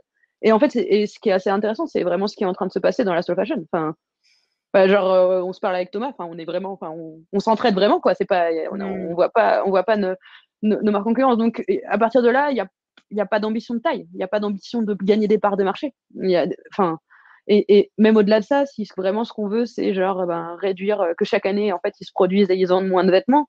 Notre ambition, elle peut pas être en termes de taille, elle doit juste être en termes d'objectifs, quoi moi, je serais content. Ouais, c'est ça. Enfin, genre, euh, j'arrive même pas à imaginer une taille qui serait acceptable. Pour moi, le mieux, ça serait qu'on ait influencé le plus de personnes possible pour qu'elles aient réduit finalement leur, euh, leur consommation de vêtements. Mais je crois quand même, contrairement à toi, Thomas, moi, je crois quand même qu'il y a une taille d'entreprise qui, euh, qui induit des problèmes, en fait, parce que tu mets une telle distance, en fait, entre les différents acteurs que tu te rends plus compte de l'impact euh, je pense que, enfin, je pense quand tu ouais, je pense que es 100 000 dans une entreprise, ça va être compliqué vraiment de t'assurer que la personne qui fait le ménage dans tes bureaux, ben, enfin, c'est possible, je pense, mais que ses conditions de travail euh, sont optimales parce que tu as une telle distance qui se passe entre les gens qui décident et, la conséquence de leurs décisions que c'est beaucoup plus facile en fait qu'il y, euh, ait des problèmes. Tu penses pas? Alors, si tu es si es organisé à 100 000 comme tu es organisé à 100, bah oui, c'est sûr. En fait, il va y avoir une sorte de, pyramide géniale au-dessus duquel il y aura un, super chef trop content. Bah oui, mmh. là, ça marche pas, à mon sens. Mmh. par contre, si tu te réinventes à chaque étape, peut-être c'est pas possible, mais il faut essayer. C'est-à-dire que moi, j'ai du mal à me dire en même temps, ah ben tiens, tout ce qu'on fait, c'est génial, ça crée d'emplois, ça protège la planète, ça aide les gens à moins consommer, etc. Mais là, stop, ça suffit, on arrête et on laisse les autres mmh. faire de la merde. Tu vois, moi, c'est ça qui fait que non, oui, non, mais il n'y a pas un truc limiter mon ambition. Et c'est pas, moi, c'est plutôt mmh. le comment qui m'intéresse plus que c'est possible ou c'est pas possible. J'en sais rien, peut-être c'est pas possible, mais j'ai pas envie de pas essayer. Et après, euh, il a fallu changer. Quand tu passes de 2 à 5, de 5 à 10, de 10 à 20, de 20 à 30, de, 30 à 60, c'est des petites révolutions intérieures de ton entreprise qui, qui, qui mmh. jaillissent eh ben, il y aura même peut-être, si on a la chance d'être 100, 200, 300, je ne sais pas, ou peut-être qu'on va redescendre, j'en sais rien, mais par principe, je ne veux pas de plafond de verre intellectuel pour mes idées mmh. euh, et pour mes, pour mes convictions. Oui, non mais ouais, en fait, de ce débat m'a carrément éjecté. Arrêtez de m'éjecter. bon, je vous interromps pas. Euh, désolée, est-ce que, est-ce que ça vous va euh, d'arrêter le débat là ou une, dernière, une dernière remarque? C'est un débat extrêmement passionnant. Hein. C'est, c'est au cœur des problématiques des entrepreneurs sociaux, hein, l'injonction de l'hypercroissance, all is beautiful, big is necessary, tout ça. Non, mais en fait, on est, on est d'accord sur le fait mmh. que c'est juste que pour nous, la taille, enfin, si, si on doit, mais c'est, en commentaire, il y en a qui donne l'exemple de Patagonia. Patagonia, sa taille est la conséquence en fait. De, de, de, de, à quel point le public euh, enfin, approuve en fait ce modèle d'entreprise. Et Patagonia est aussi gros parce qu'il y a une telle absence de ce type d'entreprise vertuelle dans le monde que finalement, il n'y en a plus qu'une où on peut acheter des polaires éthiques. Quoi. c'est pour ça que mmh. la moitié des gens qui sont un peu intéressés par ces questions sont habillés en Patagonia parce que c'est une telle exception. Mais en fait, si on avait un écosystème de plein d'entreprises vertueuses, il n'y aurait pas de raison en fait qu'il y en ait une qui, qui atteigne euh, une taille, euh, une taille si grande. Là, en fait, là, il y a vraiment... une question, et là, c'est là que le secteur financier est responsable. Parce que le secteur financier est structuré pour pouvoir émerger des acteurs et une économie qui est, qui est monopolistique. Parce que les niveaux de rentabilité qui sont recherchés dans ce secteur, ou la, manière dont fonctionnent les acteurs qui ont euh, l'argent, enfin, jusqu'à maintenant, c'était les institutionnels, maintenant, on se rend compte que le grand public peut aussi, mais pendant longtemps, c'était les institutionnels, euh, ils voulaient mettre sur le meilleur, le champion, euh, et pas faire naître des écosystèmes. Et c'est là qu'on va, qu'on peut voir un changement de paradigme aussi si les acteurs financiers changent eux-mêmes de paradigme. Euh, voilà, bah écoutez, euh, j'avais quand même une dernière question, mais on va m'engueuler si je la pose. Mais si vous répondez en, en, 30 secondes, j'ai le droit de la poser, euh, qui est la, question de la canne à pitch depuis le début. imaginons que je suis Bruno Le Maire et que je suis en face de vous et que vous avez un souhait, je vous accorde un vœu. Qu'est-ce que vous me demandez à mettre en place au niveau politique pour pouvoir transformer votre industrie? Julia, tu as été propulsée, donc c'est à toi de répondre. Euh, je lui demanderais que ça soit pas un handicap pour moi, enfin que ça soit pas un acte militant pour moi de produire en France, que ça soit pas aussi euh, compliqué, euh, à la fin, surtout en termes d'argent en fait. C'est pas normal que ça soit, enfin il devrait y avoir une politique qui fasse que ça soit genre pas militant pour les marques de produire en France quoi. Magnifique, Thomas. Ton mot à Bruno Le Maire. Comme c'est le, comme c'est le ministre de l'économie et que effectivement toute l'économie a fait un peu sa révolution qui fait pour l'instant sa révolution en investissant dans des fonds éthiques, enfin dans des projets éthiques et pas en étant éthique elle-même, à part l'ITA, euh, je dirais que pour engager la finance à devenir éthique, euh, je lui demanderais d'imposer aux fonds d'investissement d'indiquer la limite qu'ils se fixent en termes de, euh, de retour sur investissement, leur ROI maximum. En faisant ça, ça créerait une information des porteurs de projets qui se rendraient compte de quel est finalement le plus gourmand et ça créerait enfin une concurrence, cette fameuse en laquelle ils, euh, il vénèrent, et bien en fait, ça créerait une concurrence entre eux qui ferait que peut-être petit à petit, leurs objectifs de ROI baisseraient. Et donc, je lui demanderais ça, simplement d'afficher les ROI maximum des fonds d'investissement. Certains, ce serait l'infini, d'autres, ce serait peut-être 2, 3, 4, 5. Et alors, en tant qu'entrepreneur, on se dirait, bah, tiens, celui-là, il a l'air un peu plus euh, éthique. Euh, finalement, les faits sont plus en rapport avec, avec ce qu'il dit. Voilà. Merci beaucoup. Hein. L'ère politique par les entrepreneurs sociaux, je l'attends euh, avec impatience, même si ça commence hein, euh, du côté de Romans-sur-Isère. Juste, on est, on est dans une, euh, dans une unité de production 1083 là derrière. Je vois des machines à coudre, mais en même temps des bords d'école. Ah, ok, génial. C'est là qu'on fait nos petits masques. pour ah, magnifique. Les, infirmières du coin. Donc voilà, les machines à coudre qui font des jeans normalement, mais là qui font des, des masques en ce moment. Magnifique. Vous faites combien de productions par semaine? Là, on a, on a, on a fabriqué 5000 masques là, euh, ce mois-ci avec beaucoup de couturières bénévoles qui nous ont aidés. Et là, on va passer à 30 000 le mois prochain avec encore plus de couturières bénévoles. L'idée, mm. vraiment, c'est de faire du très local. Donc, on fait des kits qu'on distribue localement et qui servent localement. Voilà, on fait notre petite part à notre échelle autour du bassin de vie de Roman. Magnifique. Je vous laisse dire au revoir euh, du coup. Bah, moi, ça ne hein. m'intéresse pas, mais je, je suis dans la chambre de mon coloc. en fait, je n'ai pas osé. Je me suis dit, et toi, Julien, alors, qu'est-ce que tu as demandé derrière une petite lampe euh, publique Et pourquoi Avec pas mon ta petit chambre, chat. Euh, dis-moi. Euh, Avec un petit chat. Pourquoi pas ta chambre Pas pour être près du petit chat qui dort dans ce fauteuil-là.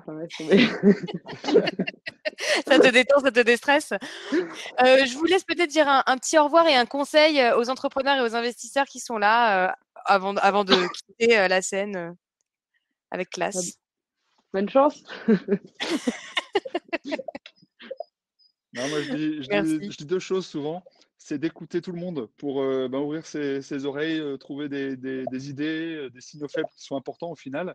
Donc écouter tout le monde et écouter aussi personne. Parce qu'en fait, si on écoute trop les gens, on ne fait rien de plus que eux-mêmes, ils ont déjà fait, donc on fait rien de nouveau. Donc voilà, écoutez tout le monde et écoutez personne. Merci à vous, c'était super. Euh, vraiment, c'était extrêmement intéressant, extrêmement instructif. Euh, c'était passionnant comme échange.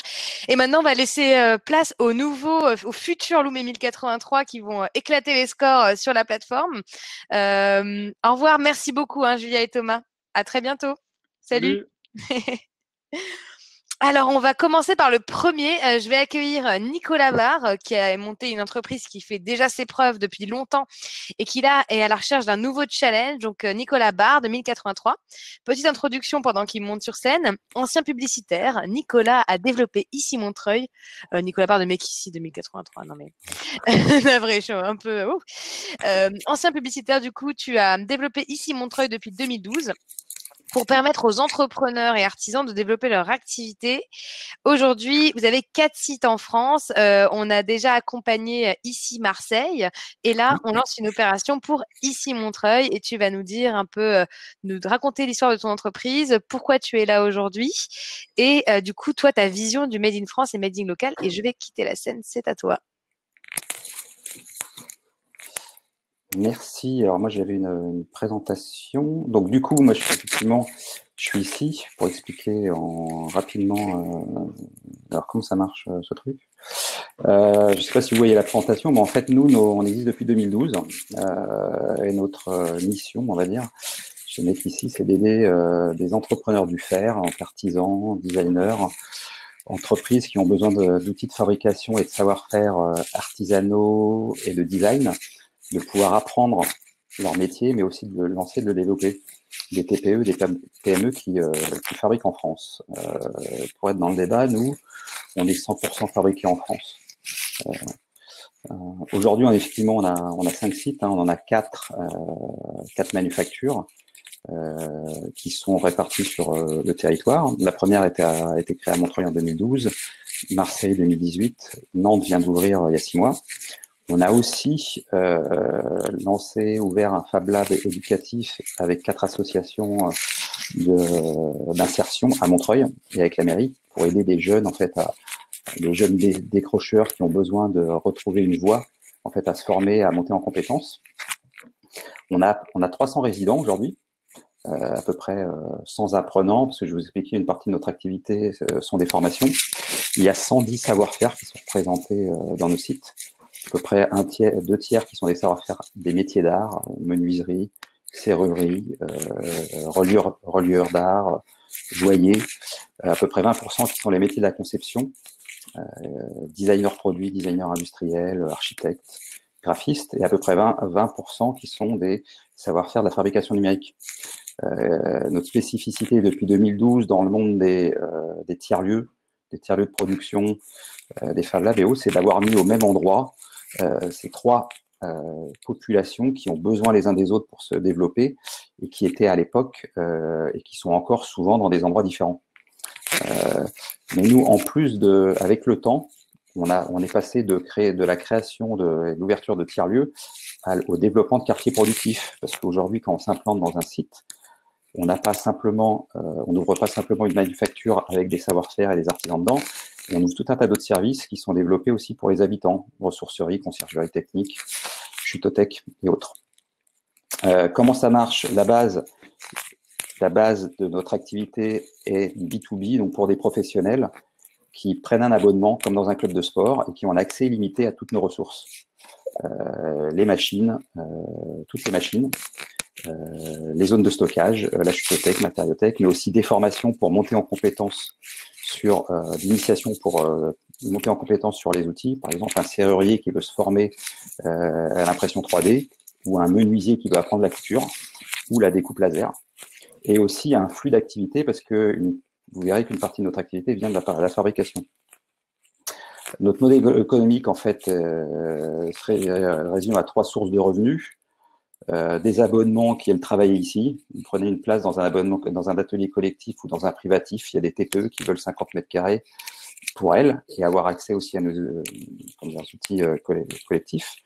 Vous pouvez apprendre, c'est-à-dire qu'on a développé et inventé des modules de formation qui sont qui vont de une semaine à trois mois, qui sont finançables par le CPF pour la plupart, par les autres co, pour que vous puissiez monter en compétences ou carrément vous réorienter vers ces métiers-là. Et la fabrication, en fait, on a des grands comptes et des architectes, des entrepreneurs qui nous confient l'aménagement de leurs locaux, la fabrication de prototypes, parce qu'on est capable de constituer des équipes qui vont jusqu'à 20, 30 savoir-faire et de les euh, coordonner. Au niveau de l'impact, vous voyez les chiffres, on a depuis, on arrive à le mesurer de deux manières, euh, les personnes qu'on aide et donc les nombres d'heures euh, d'accompagnement, et d'une deuxième manière, d'un point de vue économique, on sait aujourd'hui qu'un lieu comme le nôtre, génère plus ou moins 5 millions d'euros de chiffre d'affaires entre le chiffre d'affaires de la structure et le chiffre d'affaires cumulé de sa centaine de résidents. Et ces 5 millions d'euros sont dépensés en grande partie, en dehors des salaires hautes, mais en grande partie dans le quartier parce qu'ils doivent acheter de la matière, ils doivent manger dans le restaurant euh, autour. Donc on recrée un quartier productif. Au niveau de notre stratégie de développement, euh, donc on a cinq sites, on va ouvrir deux à trois sites par an. Euh, les sites qu'on ouvre, en fait, euh, on les ouvre en partenariat avec des promoteurs et des villes. Euh, en fait, toutes les villes de France aujourd'hui, nous, on a 5 à 10 appels par semaine. ils n'ont pas attendu la, crise pour se dire qu'ils veulent recréer des quartiers productifs et donc réimplanter de la fabrication en ville et des communautés d'artisans. donc avec ça, en général, ils, sous-traitent à des, demandent à des promoteurs de refaire le quartier et nous, les promoteurs nous contactent, on travaille avec eux. On a besoin d'augmenter notre l'activité de formation, donc du coup, on a recruté un directeur de, de formation pro et notre activité de formation va doubler. Et un des axes aussi, c'est pour sécuriser euh, nos locaux, c'est de devenir copropriétaire de nos sites. Euh, on a besoin de vous, en fait, pour deux principales raisons. Euh, en fait, pour euh, ouvrir nos trois nouveaux sites. Euh, Nantes qui est en train qui a ouvert, mais qui a besoin de plus de financement pour finir les travaux. Ouvrir à Paris et dans le Morvan et aussi renforcer nos staffs de, de formation parce qu'aujourd'hui, on a notre directeur de la formation qui coordonne les activités de formation pour notre réseau, mais on va devoir embaucher un responsable par site. Voilà. J'ai terminé ma présentation. Voilà. Nous revoilà. Euh, merci beaucoup pour la présentation. Je vais inviter à nous rejoindre sur scène Julien. Euh, Julien, mon, mon cofondateur, pour nous donner les trois raisons pourquoi soutenir et investir dans Make ici. Julien, on t'attend. Il se prépare. Salut Fred. Salut Jamie. Salut. Salut, Nicolas, ça va? Merci pour la présentation. Bonjour à tous. Euh, donc moi j'interviens pour vous montrer un petit peu les, présenter les éléments qui ont, qui ont convaincu euh, notre équipe et notre comité d'investissement euh, sur chacune des entreprises. Euh, alors, à noter que euh, ici, comme tu l'as dit, Nicolas, c'est avant tout un investissement pour soutenir le développement et la préservation de la filière de l'artisanat et du fabriqué en France. Euh, tu, tu, tu, fédères plus de 100 savoir-faire euh, dans les manufactures, 60 entreprises, tu vas, créer, tu vas, participer à la création de 60 entreprises du Made in France, donc il y a un réel impact euh, économique et social avec ton activité. Le modèle économique, il est hybride et il est aujourd'hui solide. C'est un travail que tu as fait depuis 2012 avec le, premier centre euh, à Montreuil euh, pour apprendre et à créer un modèle. Il y a plusieurs acteurs qui ont essayé de se lancer, mais c'est vrai qu'il faut avoir de l'imagination et hybrider le modèle. Et en fait, tes revenus aujourd'hui, euh, comme tu l'as expliqué, mais c'est l'allocation, le coworking, l'incubation et l'une des briques innovantes que que, que, que, qui existe chez Mec ici, c'est la prestation de fabrication pour des grands comptes. Euh, qui représente aujourd'hui à peu près 30% du chiffre d'affaires. Et c'est un moyen pour solidifier le, chiffre d'affaires et aussi apporter du business pour les artisans, les TPE que tu accompagnes. Donc c'est un double impact. Ensuite, on a beaucoup aimé, on arrive à un moment dans Mec ici où on est sur la phase du changement d'échelle. Donc euh, le centre euh, à Montreuil a réussi à atteindre l'équilibre et aujourd'hui, il y a un, un financement de plus d'un million d'euros pour développer euh, donc c'est ce que tu as fait à Marseille, à Aix-en-Provence, à Nantes, euh, dans le Morvan. Euh, et donc là, on finance le changement d'échelle avec un ancrage territorial fort euh, sur les territoires et une forte demande. Euh, donc là, il faut réussir ce changement d'échelle. Il est en cours et en bonne voie à Marseille. Euh, et il y a, comme tu l'as dit, une forte demande des acteurs publics pour réinventer, les villes. et aussi, je pense que l'après-Covid, pour relocaliser les savoir-faire français. Et mec ici a un rôle à jouer dans cette crise et du coup a un marché assez fort de développement. Et enfin, bah, c'est une société aujourd'hui qui réalise plus de 2 millions d'euros de chiffre d'affaires en, en, en, 2018 euh, et encore plus en 2019. Euh, et euh, là, du coup, c'est un investissement d'un million d'euros qu'on propose aux investisseurs sur la plateforme de réaliser aux côtés de fonds d'investissement de renommée sur l'économie sociale et comme Noves, Inco. Et alors, la petite Oh, un appel. La petite info importante, c'est que la levée de fonds se termine lundi. Donc il reste, euh, on est quasiment au bout de la levée de fonds, il reste quelques dizaines de milliers d'euros à investir. Donc voilà, c'est euh, vraiment la dernière ligne droite. Euh, donc n'hésitez pas à participer à ce financement pour promouvoir l'artisanat français. Et aussi, ce qui est important à noter, c'est que chaque centre a une valeur indépendante et aussi que lorsque vous investissez, vous avez une réduction d'impôt de 18% sur le montant que vous investissez. Donc si vous investissez 1000 euros, vous réduisez 180 euros du montant que vous, payez, que vous devez payer aux impôts. Voilà les, arguments principaux pour investir dans ici.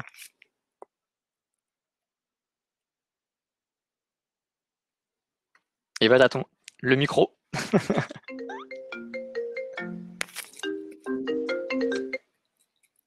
Ah, on t'entend plus. Alors, je vais prendre le relais. là, Nicolas, on va passer. Pardon. Ah, pardon, pardon. Mais je t'en prie, donne, donne la parole à ceux qui, du coup, nous posent des questions. Peut-être te posent certaines des questions et moi, j'essaie de les inviter en attendant. Allez, on fait comme ça. Euh, alors, il y a une question qui a, eu pas mal d'intérêt. Euh, est-ce que c'est un modèle qui peut s'implanter en campagne et aider la, revitalisation des, territoires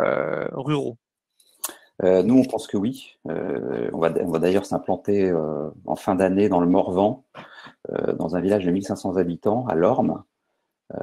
on travaille sur le projet depuis trois ans avec le maire, euh, la région et euh, les entrepreneurs locaux. Euh, en fait, on a trouvé le moyen de le faire en gardant les mêmes sources de revenus, mais en ayant une partie de revenus formation plus élevée. C'est-à-dire qu'on va en faire un centre de formation qui va permettre aux, acteurs locaux d'être connectés à des à notre communauté qui va venir qui va venir dans le Morvan en fait pour pouvoir se former pour pouvoir travailler euh, en dehors de chez eux pour pouvoir apprendre des savoir-faire du Morvan qui sont liés au bois et, euh, à la faïence.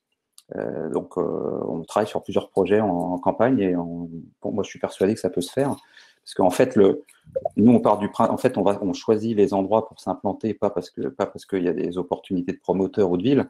On y va parce qu'il y a un savoir-faire ou une, comment dire, un, héritage artisanal ou industriel. Donc du coup, on choisit systématiquement les endroits parce qu'ils apportent, euh, en plus d'être un nouveau lieu, qu'ils apportent un nouveau savoir-faire dans notre communauté, notre réseau. Parce que l'ensemble de nos résidents de nos sites ont accès à tous nos sites. Donc du coup, quand vous êtes à Marseille, vous avez le droit de venir euh, travailler mmh. plusieurs semaines à, à Issy-Morvan sans payer, à part l'hébergement que vous devez trouver, euh, et inversement. Il y a une autre question un peu sur euh, la gouvernance euh, de Make Ici. Comment est-ce que vous êtes organisé euh, et comment vous démontrez votre caractère éthique à vous en tant qu'entreprise? Alors, alors, déjà, on, est, on a l'agrément ESUS. Du coup, on répond aux critères de l'économie sociale et solidaire. c'est en pleine réflexion parce que, en, gros, ce qu'on veut, c'est, comment dire, on est deux fondateurs, ma femme et moi. Euh, petit à petit, l'entreprise a grossi. Il y a 17 euh, employés équivalents temps plein et à peu près 300 euh, résidents. Et on, comment dire, on est en pleine réflexion pour créer plutôt un collectif d'entrepreneurs qu'une une entreprise avec deux fondateurs et, des dizaines d'employés. Donc du coup, en plus d'avocats, les, les, comment dire, les, membres d'ISTAF ont des, ont des parts de, de l'entreprise, mais on veut trouver un moyen de leur faire, euh, de, leur permettre de décider plus.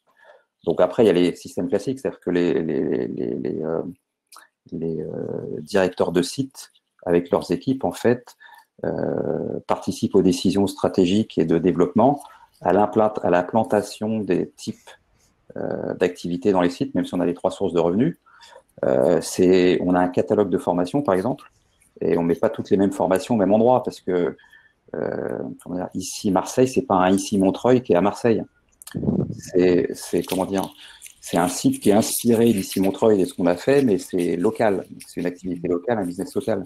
Donc c'est super important que chaque euh, équipe de site puisse amener le, comment dire l'écosystème et l'implantation locale. Donc euh, donc les, les, le staff participe. Euh, on a voulu aussi euh, élargir euh, l'actionnariat à des, à des particuliers. Euh, et on espère que certains, euh, donc je ne sais pas comment on peut trouver, parce que c'est la première fois qu'on fait ça, nous, hein, que certains puissent nous aider à, à, nous améliorer, à améliorer la gouvernance, à améliorer le développement dans, dans la structure. Merci. du coup, on a un, on a un invité euh, sur scène qui avait une question assez intéressante à, à vous poser, Nicolas. Bonjour. Bonjour. Euh, je, m'intéresse particulièrement à, votre mouvement, euh, enfin au maker, et euh, je, constatais une vraie explosion de, votre activité, en tout cas en regardant vos différents sites, Twitter, les autres, même les articles dans la presse, depuis le, 17 mars, donc depuis le confinement, on a, vraiment un élan très très important qui se porte sur la, fabrication des, masques et des visières, et surtout, ce qui est, ce qui est beaucoup plus nouveau, je trouve, le, votre capacité à les livrer à l'hôpital, alors que c'est quand même des lieux qui sont traditionnellement hyper fermés, il faut la norme, il faut être homologué, etc. Donc là, on a un bel exemple en fait d'une dynamique euh, collaborative locale avec une vraie réussite, une prise en compte quand même des, institutions, même si j'ai vu pas mal d'articles où on dit que bon l'État fait pas euh, vraiment son job, il faut aller plus loin, il faut reconnaître les makers. Et euh, j'aurais été intéressé par avoir un exemple un petit peu de, cas concret qui, vous a amené à réussir à rentrer à l'hôpital avec vos équipes. Enfin, je dis vos équipes, c'est des petites équipes satellites en fait, je sais pas trop qui elles sont. Hein. Et euh, j'ai l'impression que là, on a, un bel exemple de, réussite de, votre action locale et collaborative. Voilà, donc si, si vous avez un exemple concret par rapport à ça, ce serait, ce serait intéressant parce que c'est inédit, il me semble. Oui. Euh, ce qu'il faut comprendre, c'est que le, donc le monde des makers, des Fab Labs, des makerspace et, autres, c'est à la fois des, c'est bien, bien évidemment des lieux avec des machines numériques, mais c'est surtout des communautés avec des, des, des entrepreneurs euh, et des gens qui ont des savoir-faire de conception et de fabrication, mm-hmm. et en plus qui ont une méthode et un état d'esprit qui fait que euh, lorsqu'on a envie de faire quelque chose, qu'on a une idée, on la teste. On n'attend pas deux ans ou trois ans, on la teste, on regarde si ça marche. On la, quand on la teste, on la teste pas seul, on la teste avec ceux et celles qui devraient les porter. Dans le cas des visières et des, des masques ou des, ou des, des, pièces pour respirateurs. Donc en fait, ce qui s'est passé, c'est qu'il a, ça a commencé plus ou moins euh, en Chine ou en Italie. En fait, le mouvement maker français s'est aperçu qu'il y avait des tests en Chine, en Italie, de makers qui ont, imaginé des, euh, visières, imaginé des, pièces, et donc du coup des, des, Fab Labs français. Euh, il y a plusieurs mouvements, euh, je ne vais pas rentrer dans le détail, mais plusieurs communautés. Chacune, en fait, s'est connectée plus ou moins avec son écosystème local, donc les, hôpitaux. Donc à chaque fois qu'un modèle de visière, par exemple, était imaginé, eh ben, il était testé dans la journée euh, par des équipes médicales. Donc ils pouvaient faire des retours. Et comme il y avait des tests dans euh, je sais pas, 25, 30 villes de France et plusieurs hôpitaux en même temps, les retours ont été assez vite et ils, ont en quelques jours en fait, on a pu tous imaginer des, visières qui étaient euh, confortables, adaptées pour le quotidien euh, des, des personnels soignants et en plus qu'ils acceptaient. Voilà. Et, et, nous, nous concernant, il y a à la fois le staff de nos sites qui a pris les devants pour pouvoir en fabriquer, mais on a aussi des résidents qui s'y sont mis. Donc, euh, on est à plusieurs milliers. Il euh, y, a, pas de, si on prend, il y, a, une association qui s'appelle le Réseau français des Fab Labs, qui regroupe une centaine de Fab Labs en France. Il y a aussi Fab Co, c'est les Fab Labs de, de, grandes entreprises dans lesquelles euh, on est, nous. Il y, a, un comptage qui est fait, euh, il, y a, plusieurs dizaines de milliers de visières, de masques euh, et de pièces de respirateurs qui ont déjà été fabriquées et livrées et utilisées hein, en France depuis la, le début du confinement. Mmh. Donc, effectivement, le monde découvre que euh, les makers ont des savoir-faire, ont un état d'esprit, ont une capacité de production rapide, à tel point que euh, les hôpitaux de Paris sont mis à acheter des imprimantes 3D. Donc, euh, effectivement, euh, bon, euh, ça met en avant nos, nos, nos, capacités, quoi, ça met en avant la capacité des, des, des, de ceux qui ont les savoir-faire en France de, de, bah, de, produire et de fabriquer. Mm -hmm. Et pas simplement les makers, pas simplement les, les makers, aussi les artisans, comme on voit, comme Thomas en a parlé. Donc, ce qui est intéressant, là, c'est à la fois là, on, des artisans, des makers, des ingénieurs, des imprimantes 3D, des machines à coudre qui se mettent ensemble pour pouvoir euh, fournir la France. Et on espère que euh, l'État va comprendre que c'est bien d'aller commander en Chine ces masques, mais qu'on peut euh, organiser une filière de production de ces masques et de ces visières euh, pendant tous les ans en France et, donc fabriquer des, des, centaines de milliers. Ça me permet. Merci beaucoup. Merci beaucoup. Merci. Merci beaucoup. Ça me permet d'enchaîner avec la dernière fameuse question, vu qu'il nous reste une minute. Euh, vous avez Bruno Le Maire en face de vous. Qu'est-ce que vous lui demandez pour les artisans? Ah, Moi, Bruno Le Maire, il est venu à ici Montreuil. Il a passé deux heures euh, à l'époque où il était candidat euh, aux élections. Donc, j'avais pas mal discuté avec lui. Euh, non, moi, il y a deux trucs qui me fascinent. Euh, c'est un moment. premier truc que je ferais, c'est que toutes les entreprises qui, ont des financements français euh, qui les dépensent à l'étranger doivent les rembourser. Première chose. Euh, et que 25% euh, de l'argent qui est mis dans les startups bah, qu'on le mette dans des entreprises qui produisent et qui fabriquent en France pour leur permettre de développer à la fois leur capacité de production et de réactivité. Ça, c'est le premier truc. Et le, le deuxième, et c'est pas forcément à lui, mais c'est de, ça peut, ça peut être dans son, dans son giron quand même, c'est de permettre à toutes les villes de France de créer ces fameux quartiers productifs qui sont en train de se lancer, comme à Marseille, à Lille. Euh, voilà, il faut, des, il faut en lancer plus. 9, 8, 7. Parfait. Merci beaucoup. Merci, beaucoup, Nicolas. Euh, donc, vous pouvez retrouver donc, sur euh, lita.co euh, Make ici en financement et devenir du coup partie prenante de ces entreprises. Si vous souhaitez une économie différente, il faut en faire partie. Bah, merci, Nicolas. Et on va passer. Donc, on va vous mettre le lien dans le chat de la campagne de Make ici pour que dès ce soir, vous puissiez les soutenir et soutenir. Ah bah, il y a carrément un pop-up. C'est sublime pour investir, c'est ici. voilà, on n'a que ça à faire chez nous. Vous pourrez pas me dire que vous avez autre chose à faire ce soir?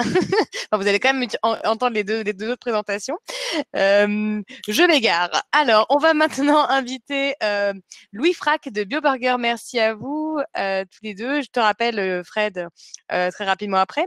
Du coup, Louis Frac de BioBurger. Donc, BioBurger, créé en 2011, répond à un objectif simple, euh, révolutionner le service rapide en proposant une offre 100% bio.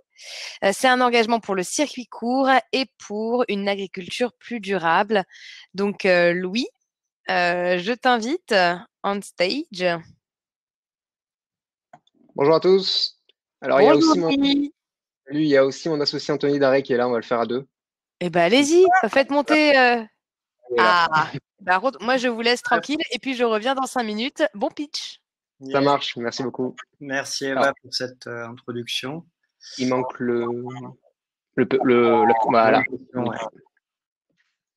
Bon, bah, merci, euh, merci d'être là. Salut à tout le monde. Euh, donc, rapidement, pourquoi BioBurger? BioBurger, c'est euh, la réponse à la transition. C'est pour que la transition écologique se fasse de la manière la plus intuitive et la plus simple possible. Aujourd'hui, dès lors qu'on bah, parle d'écologie ou de développement durable, on a des connotations assez. Euh, on pense tout de suite à la notion euh, d'effort qu'on va va devoir faire pour faire ce genre de choses au mieux. Euh, BioBurger, c'est vraiment l'inverse. C'est vraiment proposer un burger facile d'accès euh, pour vraiment que l'agriculture bio soit mise euh, à profit de, tout le monde. J'arrive juste pas à passer les slides. Je sais pas pourquoi. Ok, c'est toi qui as la main dessus. oui, la main dessus. Ok, tu peux passer sur. Allez. Du coup. Alors du coup, comment on propose une transition écologique simple euh, pour nous, euh, la transition écologique simple, c'est tout d'abord de créer des, chaînes de valeur et des écosystèmes euh, qui euh, ont leur sens dans la, durée, en fait, qui prennent leur sens dans la durée, dans le, long terme. juste, Anto, si tu peux couper ton micro, du coup que je m'entends en double. Ouais, voilà. Désolé. Ouais, donc je reprends. Euh, c'est tout d'abord créer en fait des chaînes de valeur et des écosystèmes qui prennent euh, leur sens dans la durée, dans le long terme. C'est hyper important la, pérennité. On l'a entendu tout à l'heure avec Loom et, et 1083.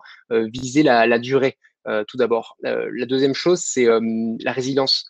là, on le voit typiquement en ce moment. on doit pouvoir s'adapter à un environnement qui change, un environnement incertain.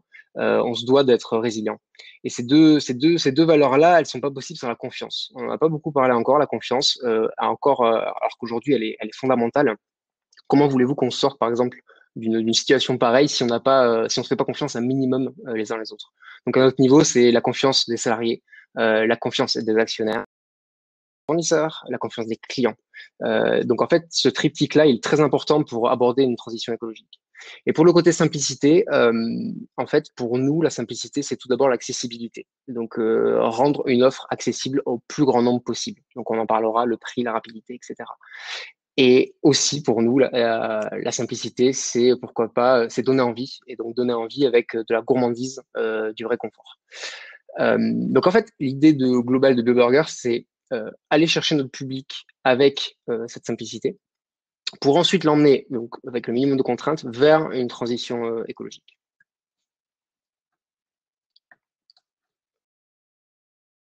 merci. Mais concrètement, BioBurger, c'est quoi? Le résumé le plus court et le plus simple, c'est qu'on est le McDonald's du futur. Euh, pourquoi est-ce qu'on parle à McDo? Aujourd'hui, on a une offre assez similaire des burgers, des frites, des boissons, des milkshakes. Euh, des prix justes euh, et accessibles. Aujourd'hui, nos menus sont entre 11 et 13 euros.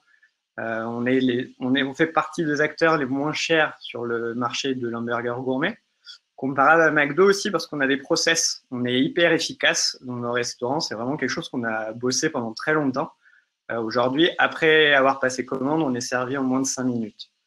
Euh, et pourquoi du futur? Car on estime faire plein de choses qui vont dans le bon sens pour le monde de demain, euh, comme une carte qui est 100% bio, packaging 100% compostable et composté via un partenaire Moulineau qui vient récupérer les déchets et qui ont fait du compost distribué aux agriculteurs, une appro, de 85% origine française, donc ça, c'est important aussi. Il y a des produits encore qu'on n'arrive pas à acheter en France. Par exemple, pour faire notre citronnade, euh, bah, le citron, il vient de Sicile, car en France, du citron bio, c'est très marginal la production. Euh, et aussi du futur, car on a une vision d'entrepreneuriat qui est différente de beaucoup d'entreprises qui sont créées ces dernières années. Nous, on vise vraiment une croissance maîtrisée, une pérennisation de l'économie et une partage de la valeur euh, créer. On veut que nos agriculteurs y vivent de leur métier. Aujourd'hui, on traverse une crise sanitaire. On se rend compte que le milieu hospitalier, bah, il est dans un état assez catastrophique. Euh, le milieu agricole, c'est un peu la même chose. C'est un milieu qui est un peu en perdition. Nous, on veut contribuer au fait que les agriculteurs puissent vivre décemment de leur euh, métier. Pardon. Hop là, alors on va vous faire un petit historique de notre aventure. Euh, donc, voilà. Alors donc du coup, euh, première ouverture à Paris en 2011, euh, pile à la sortie de nos études avec Anthony. donc on avait, on a, on a fait ça un peu, on était un peu au four et moulin, on a fait un peu tout, nous-mêmes. ça a eu du succès au rendez-vous immédiatement, et on a pu ouvrir deux ans plus tard notre deuxième restaurant. là, il s'est posé vraiment un, problème qui était assez important, c'est qu'on avait cette, envie euh, de, rendre la bio accessible, donc du 100% bio et à des prix en fait euh, assez accessibles. Et évidemment, on avait du succès, mais notre business model ne tenait pas la route.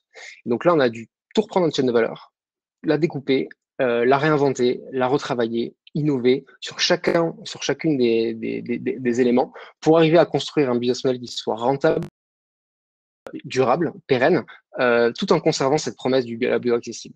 Donc on en reviendra parce que c'est pareil, ça, ça, ça, rejoint un petit peu mes 83 Loom, c'est comment faire euh, de la bio accessible, pas trop cher, etc. Donc nous, on a on n'a pas le temps de, de, faire le détail sur les process qu'on a mis en place, mais il y a énormément de choses qu'on a mis en place pour y arriver, et notamment euh, aussi une, faible, une faible marge évidemment.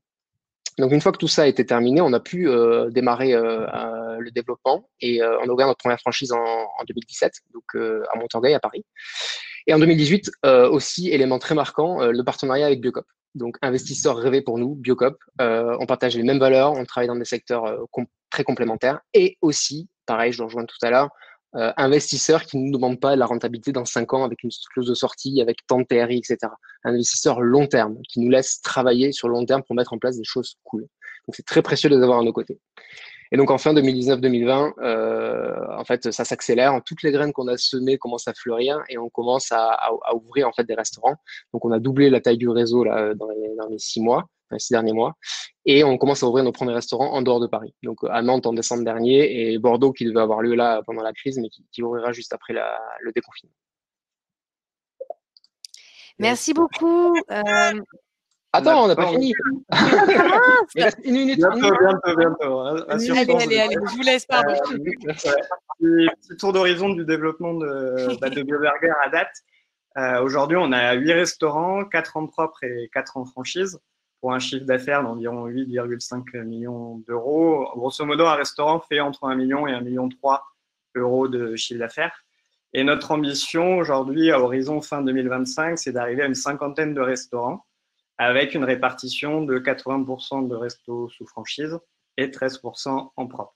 Et le but pour accompagner cette croissance économique, c'est de faire une croissance écologique. Plus on grandit, plus on va pouvoir faire des actions positives. Aujourd'hui, on fait du 100% bio, des packaging 100% compostables, Mais il y a encore plein de choses à faire. Là, on est en train de tester dans notre dernier restaurant l'arrêt de l'eau en bouteille. Euh, parce que c'est une aberration de vendre de l'eau minérale qui transite sur des milliers de kilomètres et qui sont dans un packaging en plastique. Donc voilà, on a plein de choses à faire.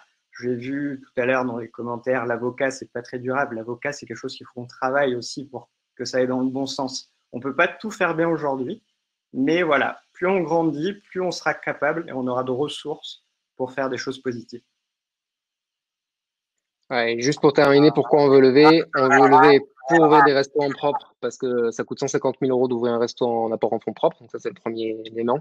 Et le deuxième élément, et surtout, euh, donc j'ai vu aussi dans les commentaires pourquoi, euh, enfin, on pourrait y répondre un peu plus tout à l'heure, mais pourquoi on refait une levée de fonds euh, d'ici un an? Parce qu'en fait, on avait un besoin global avant Biocop de 3 millions d'euros.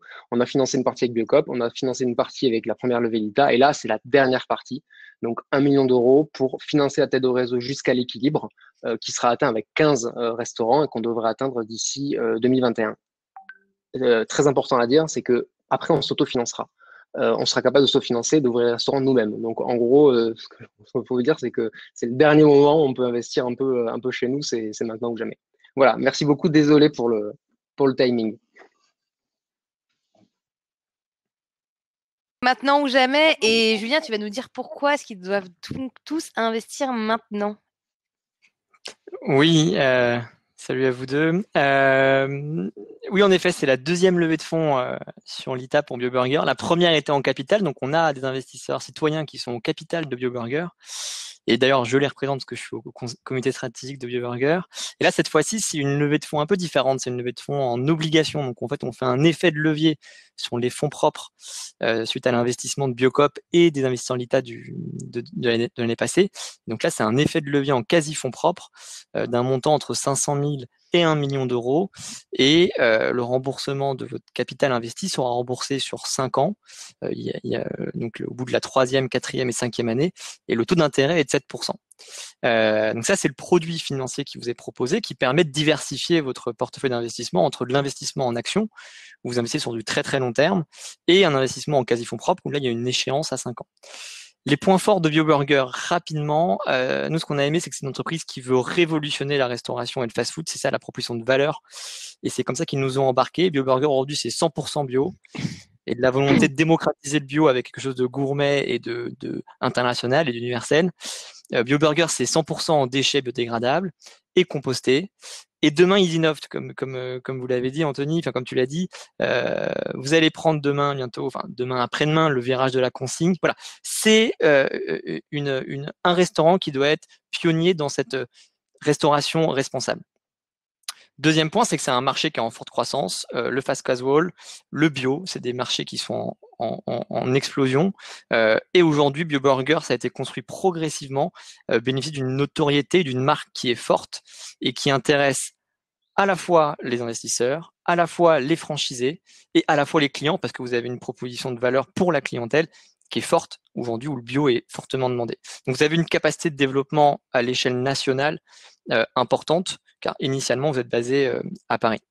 Euh, un point aussi fort, c'est le partenariat avec Biocop. Louis t'en a parlé. Ils ont investi au capital euh, et ils vous accompagnent dans la montée en puissance autant sur la chaîne d'appro, autant sur les franchisés, et aussi sur un partage de compétences. Et aussi de valeurs fortes, je pense. Et le modèle économique, il est prouvé. C'est le dernier point. Vous, avez des restaurants qui sont rentables aujourd'hui dès la première année, avec un chiffre d'affaires autour d'un million d'euros, un résultat d'exploitation de 50 000 euros. Le modèle de franchise, il fonctionne. Vous l'avez testé, ça fonctionne. Et maintenant, on voit que le modèle de s'exporter de Paris, d'aller à Nantes fonctionne également. Donc vous avez tous les ingrédients qui ont été prouvés et maintenant il n'y a plus qu'à exécuter. Et c'est l'une des grandes forces de votre équipe et c'est ça qu'on a apprécié, c'est que vous êtes centré sur l'exécution et la réalisation. Euh, voici un peu les, les arguments euh, synthétiques euh, de l'ITA. Merci beaucoup Julien.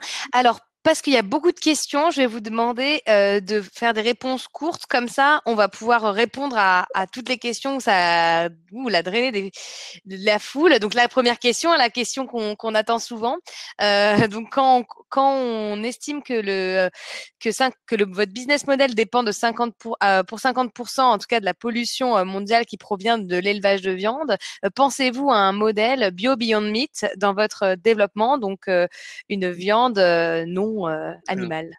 Il y a pas mal de choses à dire, on va essayer d'être court, mais effectivement, la viande, euh, enfin, l'élevage bovin est une source de pollution énorme euh, dans, dans, le monde. donc, notre première action à mener pour si on veut diminuer notre impact carbone, c'est ça. Il y a plusieurs sujets. C'est que nous, on est pragmatique. C'est-à-dire que le but, c'est d'emmener, comme l'a expliqué, les gens vers la transition écologique.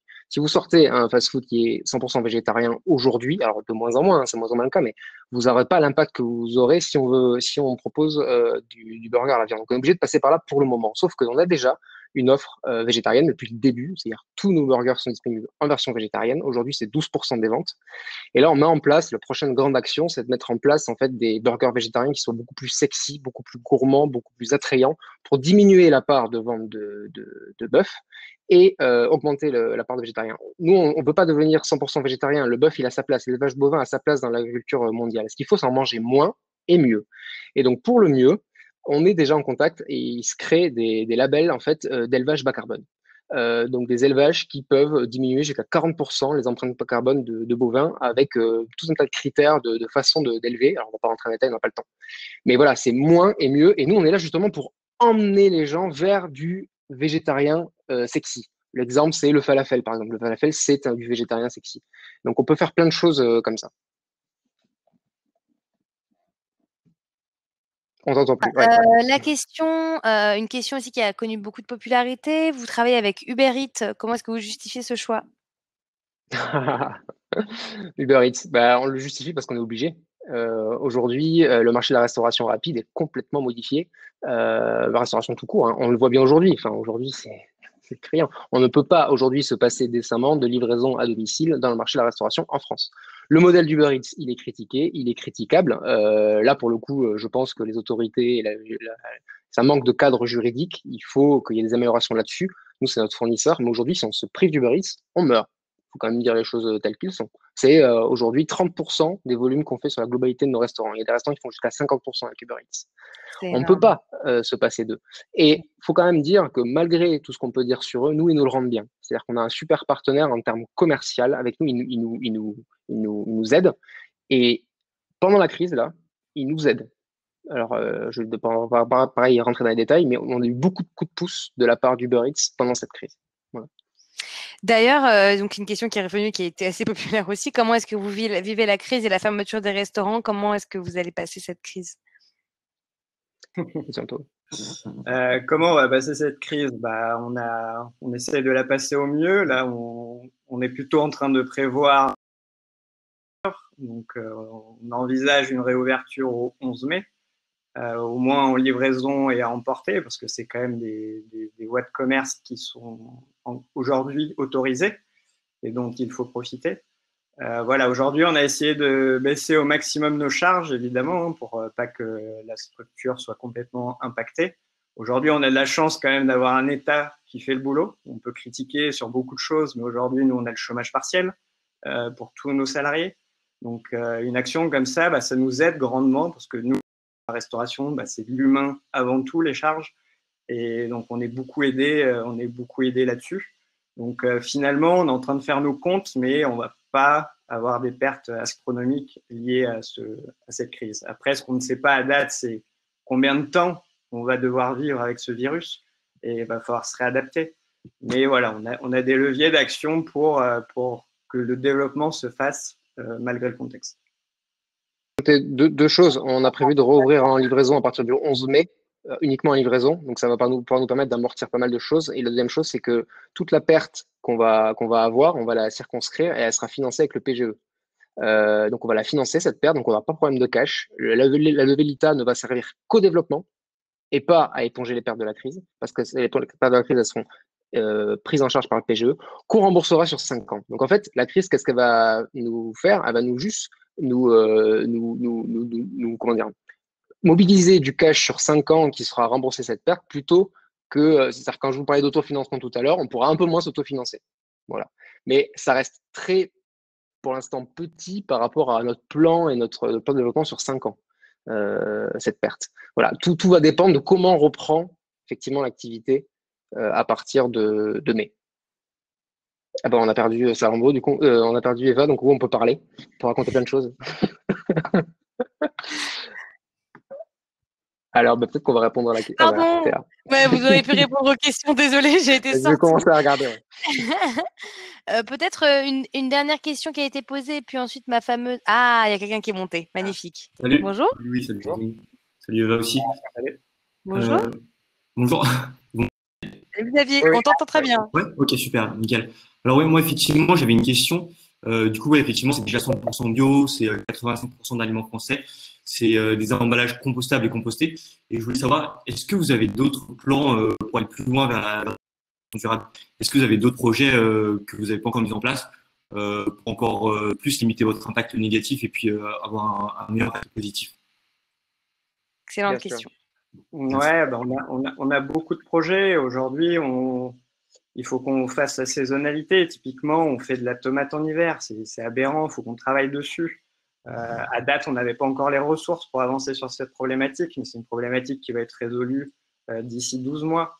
Euh, donc ça, c'est un exemple. On a parlé tout à l'heure de l'axe végétarien. C'est quelque chose qu'on veut vraiment mettre en avant. Donc on est en train de travailler en R&D pour avoir les meilleurs végétariens possibles et que demain, on puisse maximiser cette demande à l'instar du bœuf.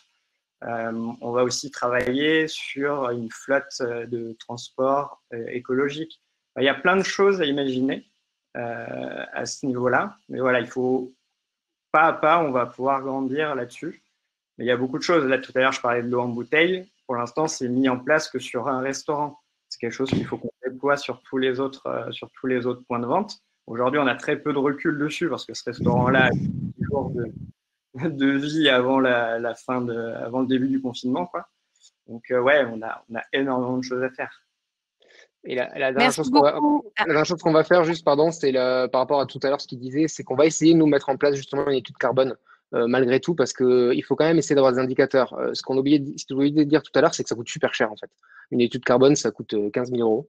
Euh, ça n'est que partiel comme euh, étude, mais c'est quand même quelque chose. Euh, voilà, c'est toujours bien d'avoir quand même un indicateur pour essayer de s'améliorer. Donc avant tout, on fait, mais quand on a les moyens ensuite de communiquer et de mesurer, on peut mesurer. Mais aujourd'hui, je comprends bien ce qu'ils ont dit tout à l'heure, mais 83, c'est qu'on n'a pas que ça à foutre au début de mesurer. On fait d'abord et ensuite on mesure. Donc nous, on va essayer de mesurer à partir de l'année prochaine et de suivre cet indicateur donc de moyenne d'émissions euh, équivalent carbone par burger ou par resto pour globalité de l'entreprise, on verra, et de le faire diminuer d'année en année.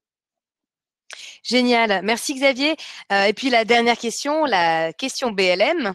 Euh, donc, si vous aviez Bruno Le Maire en face de vous, qu'est-ce que vous lui diriez pour euh, la filière alimentaire française?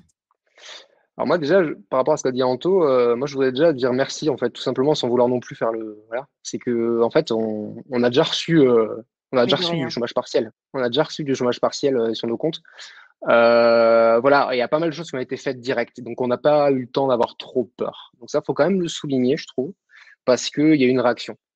Euh, ça, c'est cool et ça nous aide bien. Voilà, donc ça, c'est la première chose. La deuxième chose pour moi, c'est alors, c'est un peu global, mais on aurait aimé que ce que fait l'ITA, euh, on aimerait bien que tout le système financier le fasse en fait.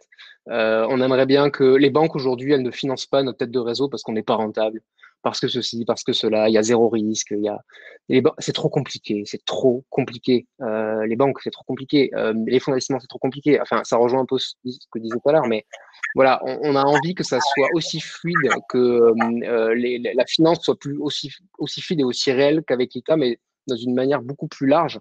Et on pense que l'entreprise se porterait beaucoup mieux. Petit point là sur le Covid. Là, pour l'instant, ça marche bien et l'État garantit les prêts à 90%, donc les banques prêtent. Mais le pire qui pourrait arriver, c'est que les banques ne prêtent plus. D'ailleurs, il euh, faut quand même justifier un petit peu qu'on puisse rembourser hein, pour qu'elles prêtent. Mm. Et ça, ça peut être très, très dangereux. Alors qu'avec des, des, éléments comme l'ITA, euh, je pense que la confiance des gens, elle reste, elle.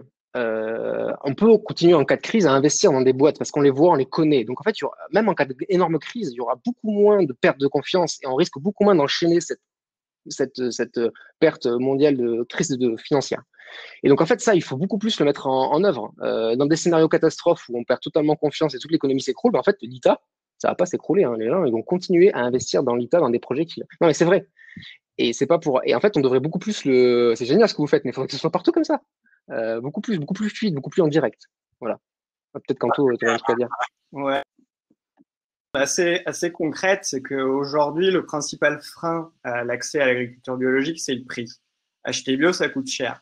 Sauf que ce qu'on ne sait pas, ou très peu, trop peu, c'est que quand on achète du conventionnel, ben, on ne paye pas le juste prix. Derrière, nos impôts vont payer euh, pour tout ça parce que le, système est en crise et derrière, nos impôts servent à payer des subventions aux agriculteurs. Donc, j'aimerais juste que le prix du conventionnel soit au prix public le plus vrai possible. Et comme ça, on compare. Et je pense qu'on sera pas loin euh, des prix du conventionnel. Et là, le bio bah, fera le bon le plus astronomique possible. Quoi. Pour la filière euh, vêtements tout à l'heure, hein, nos jeans, etc. Enfin, c'est pareil. Merci infiniment euh, pour les encouragements. On va lui passer le mot. Euh, et puis, on va passer à la. Merci infiniment. Vous pouvez investir sur BioBugger. Vous avez reçu la petite notification dès maintenant et les soutenir. Et on va passer à une question qui est centrale dans la transition et dans le monde de demain, qui est la question de l'énergie. Euh, on parle d'une nouvelle crise climatique et de risques physiques. Et c'est lié à quoi? À la question de l'énergie. Donc, on a voulu parler de cette question-là à travers le récit d'un entrepreneur qu'on soutient sur la plateforme aujourd'hui et que vous pouvez également vous soutenir, Rémi Berton d'Enerpact. Donc Rémi Berton, euh, très impliqué dans plusieurs projets d'innovation dans le solaire, euh, il a fondé Enerpact. Bonjour Rémi, euh, qui offre à ses clients la sécurisation des rendements de leurs centrales photovoltaïques, sachant que l'énergie est un rôle central dans la transition. À vous, à toi Rémi, je quitte la scène. Bonjour à tous. Ben oui, tout à fait. Une fois qu'on est habillé, qu'on a mangé, ben, il faut se, se chauffer, allumer la lumière. Euh, et donc, euh, l'énergie est un rôle tout à fait, euh, tout à fait central. Et dans cette énergie, alors comme partout, consommer moins, c'est la meilleure chose qui est possible. Et après, il faut chercher à consommer mieux, différemment. Et nous, à Enerpact, depuis l'origine, c'est une société donc, que j'ai fondée avec un, un associé qui s'appelle Manuel Emig. Et notre raison d'être, ce qui fait avant même euh, le projet d'Enerpac que je vais vous, que je vais vous détailler, c'est l'écopragmatisme. Et l'écopragmatisme, c'est comment est-ce qu'on peut concevoir des solutions simples euh, qui vont pouvoir être adoptées par des gens qui sont militants de rien, juste correspond à leur intérêt le plus basique, juste parce que c'est la solution évidente qui, euh, qui s'impose à eux. Et dans l'énergie, il y a beaucoup de choses à en dire, et particulièrement dans la production d'énergie renouvelable, parce qu'on pourrait aimer que la production d'énergie renouvelable soit simple, mais la production d'énergie renouvelable et du photovoltaïque en particulier, euh, c'est pas aussi simple qu'on pourrait le, le souhaiter. C'est tout d'abord un projet de, production d'énergie renouvelable. Il faut bien se rendre compte que c'est un projet d'investissement initial dans une machine quelconque, une centrale photovoltaïque, quand on parle d'énergie solaire, euh, qui va être un investissement conséquent qu'on va réaliser initialement. Et après, ce projet, il va vivre des dizaines d'années, des dizaines et des dizaines d'années. Et c'est dans ce temps long qu'il va trouver toute sa rentabilité. Mais si des non-professionnels investissent dans euh, ces énergies, et par exemple aujourd'hui beaucoup de nos clients sont des agriculteurs, euh, au fur et à mesure des années, ils vont rencontrer divers incidents, euh, sources de pertes de, de profits divers et variés. Et comme ils ne sont pas spécialistes de la chose, eh ben, ils vont petit à petit leur, euh, ils vont connaître des déboires par rapport à ce qu'ils auraient pu espérer au mieux de leur, de leur exploitation. Euh, donc ça, c'est vraiment, c'est vraiment le point clé qu'on qu'on adresse, c'est cette situation de base. Mais cette situation de base, il faut se rendre compte qu'on l'assume dans notre vie de tous les jours.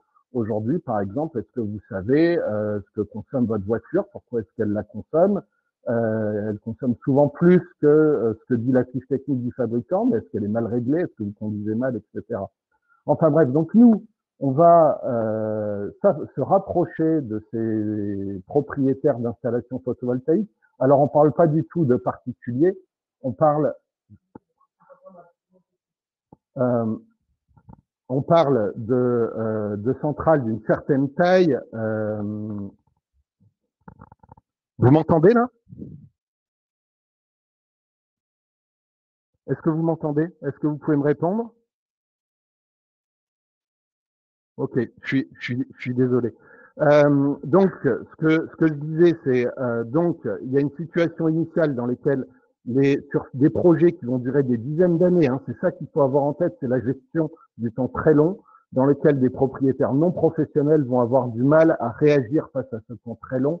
Et au fur et à mesure de ce temps, il y a des, toute une série d'incidents qui vont euh, se, qui peuvent se produire et dans lesquels on va avoir une perte entre l'espoir initial du propriétaire et euh, ce qu'il va réussir à obtenir au, au final. Et nous, ce qu'on va lui permettre, on va euh, se baser sur la production optimale qu'il a réalisée par ses propres moyens dans le passé de sa centrale, et on va en, en lui garantir ce niveau minimal de revenus qu'il a réussi à obtenir par ses propres moyens. Et derrière, nous-mêmes, on va tout faire pour améliorer la production de cette centrale en engageant par ailleurs le minimum de charges possible. On partage vraiment exactement les mêmes intérêts que nos, euh, que nos clients pour qu'ils produisent plus et mieux. La plupart des exploitants de centrales de photovoltaïques professionnels, ils cherchent à installer le maximum de centrales photovoltaïques possible. Ben nous, on cherche à ce que les centrales photovoltaïques existantes produisent le plus qu'elles peuvent. Et par rapport à la situation historique, il y a euh, c'est donc sur cette euh, rentabilité additionnelle qu'on va se baser. Alors pour faire ça, on a développé une plateforme technologique. On n'a pas essayé de tout réinventer nous-mêmes. On a utilisé plein de choses qui ont été faites par d'autres. On a essayé de les intégrer dans un système unique. On a créé nous-mêmes des briques qui permettent de relier ces différentes technologies qui ont été développées par plein d'entreprises géniales à travers le monde. Et ça, ça nous permet d'avoir une vue très précise du fonctionnement des centrales euh, photovoltaïques qu'on gère euh, et de sans cesse réagir et non pas subir le temps, le temps qui passe. Alors tout ça, juste rapidement, euh, ben donc j'ai créé cette société avec Manuel et en nous faisant confiance à nous, ben vous faites confiance à toute une équipe. On a trois Laurent, on a Rodolphe, on a Déborah, on a Thierry, on a Patrice, euh, on a Philippe et c'est ces gens-là qui, par leurs compétences, et avant tout, croire dans un projet entrepreneurial, c'est croire dans les hommes qui le portent, les hommes et les femmes qui le portent. Alors en parité, on n'est pas très bon, mais on va s'améliorer dans le futur euh, pour euh, amener ce, ce, projet très loin. Et sincèrement, dans le domaine de la production d'énergie, il y a tellement à faire qu'on ne se fixe pas de limites. En chiffres, notre impact, Aujourd'hui, auprès des clients qui sont déjà clients d'Enerpact, on a sécurisé plus de 50 millions d'euros de revenus. Euh, ça correspond à l'équivalent de 1200 foyers approvisionnés sur 20 ans en énergie, c'est énorme. Et nous-mêmes, ces contrats qu'on a signés sur ces temps longs nous permettront d'obtenir cette année et puis chaque année dans le futur plus de 6 millions d'euros de chiffre d'affaires. Demain, après la levée euh, qu'on réalise auprès de l'ITA, ça sera plus de 800 millions d'euros de revenus sécurisés auprès de nos clients, plus de 20 000 foyers fournis en énergie. Et pour nous, alors pareil, année après année, hein, euh, sur ces partenariats euh, longs, euh, plus de 100 millions d'euros de chiffre d'affaires pour ce qui nous concerne. J'ai entendu qu'il y avait des problèmes de son. Je suis vraiment désolé. J'espère que vous avez suivi ce que j'ai voulu vous passer comme message. Ça s'est amélioré très bien. C'était super. Euh, on va faire monter Julien qui va nous donner les raisons pour lesquelles investir et soutenir Enerpact. Julien, Julien, on t'attend sur scène.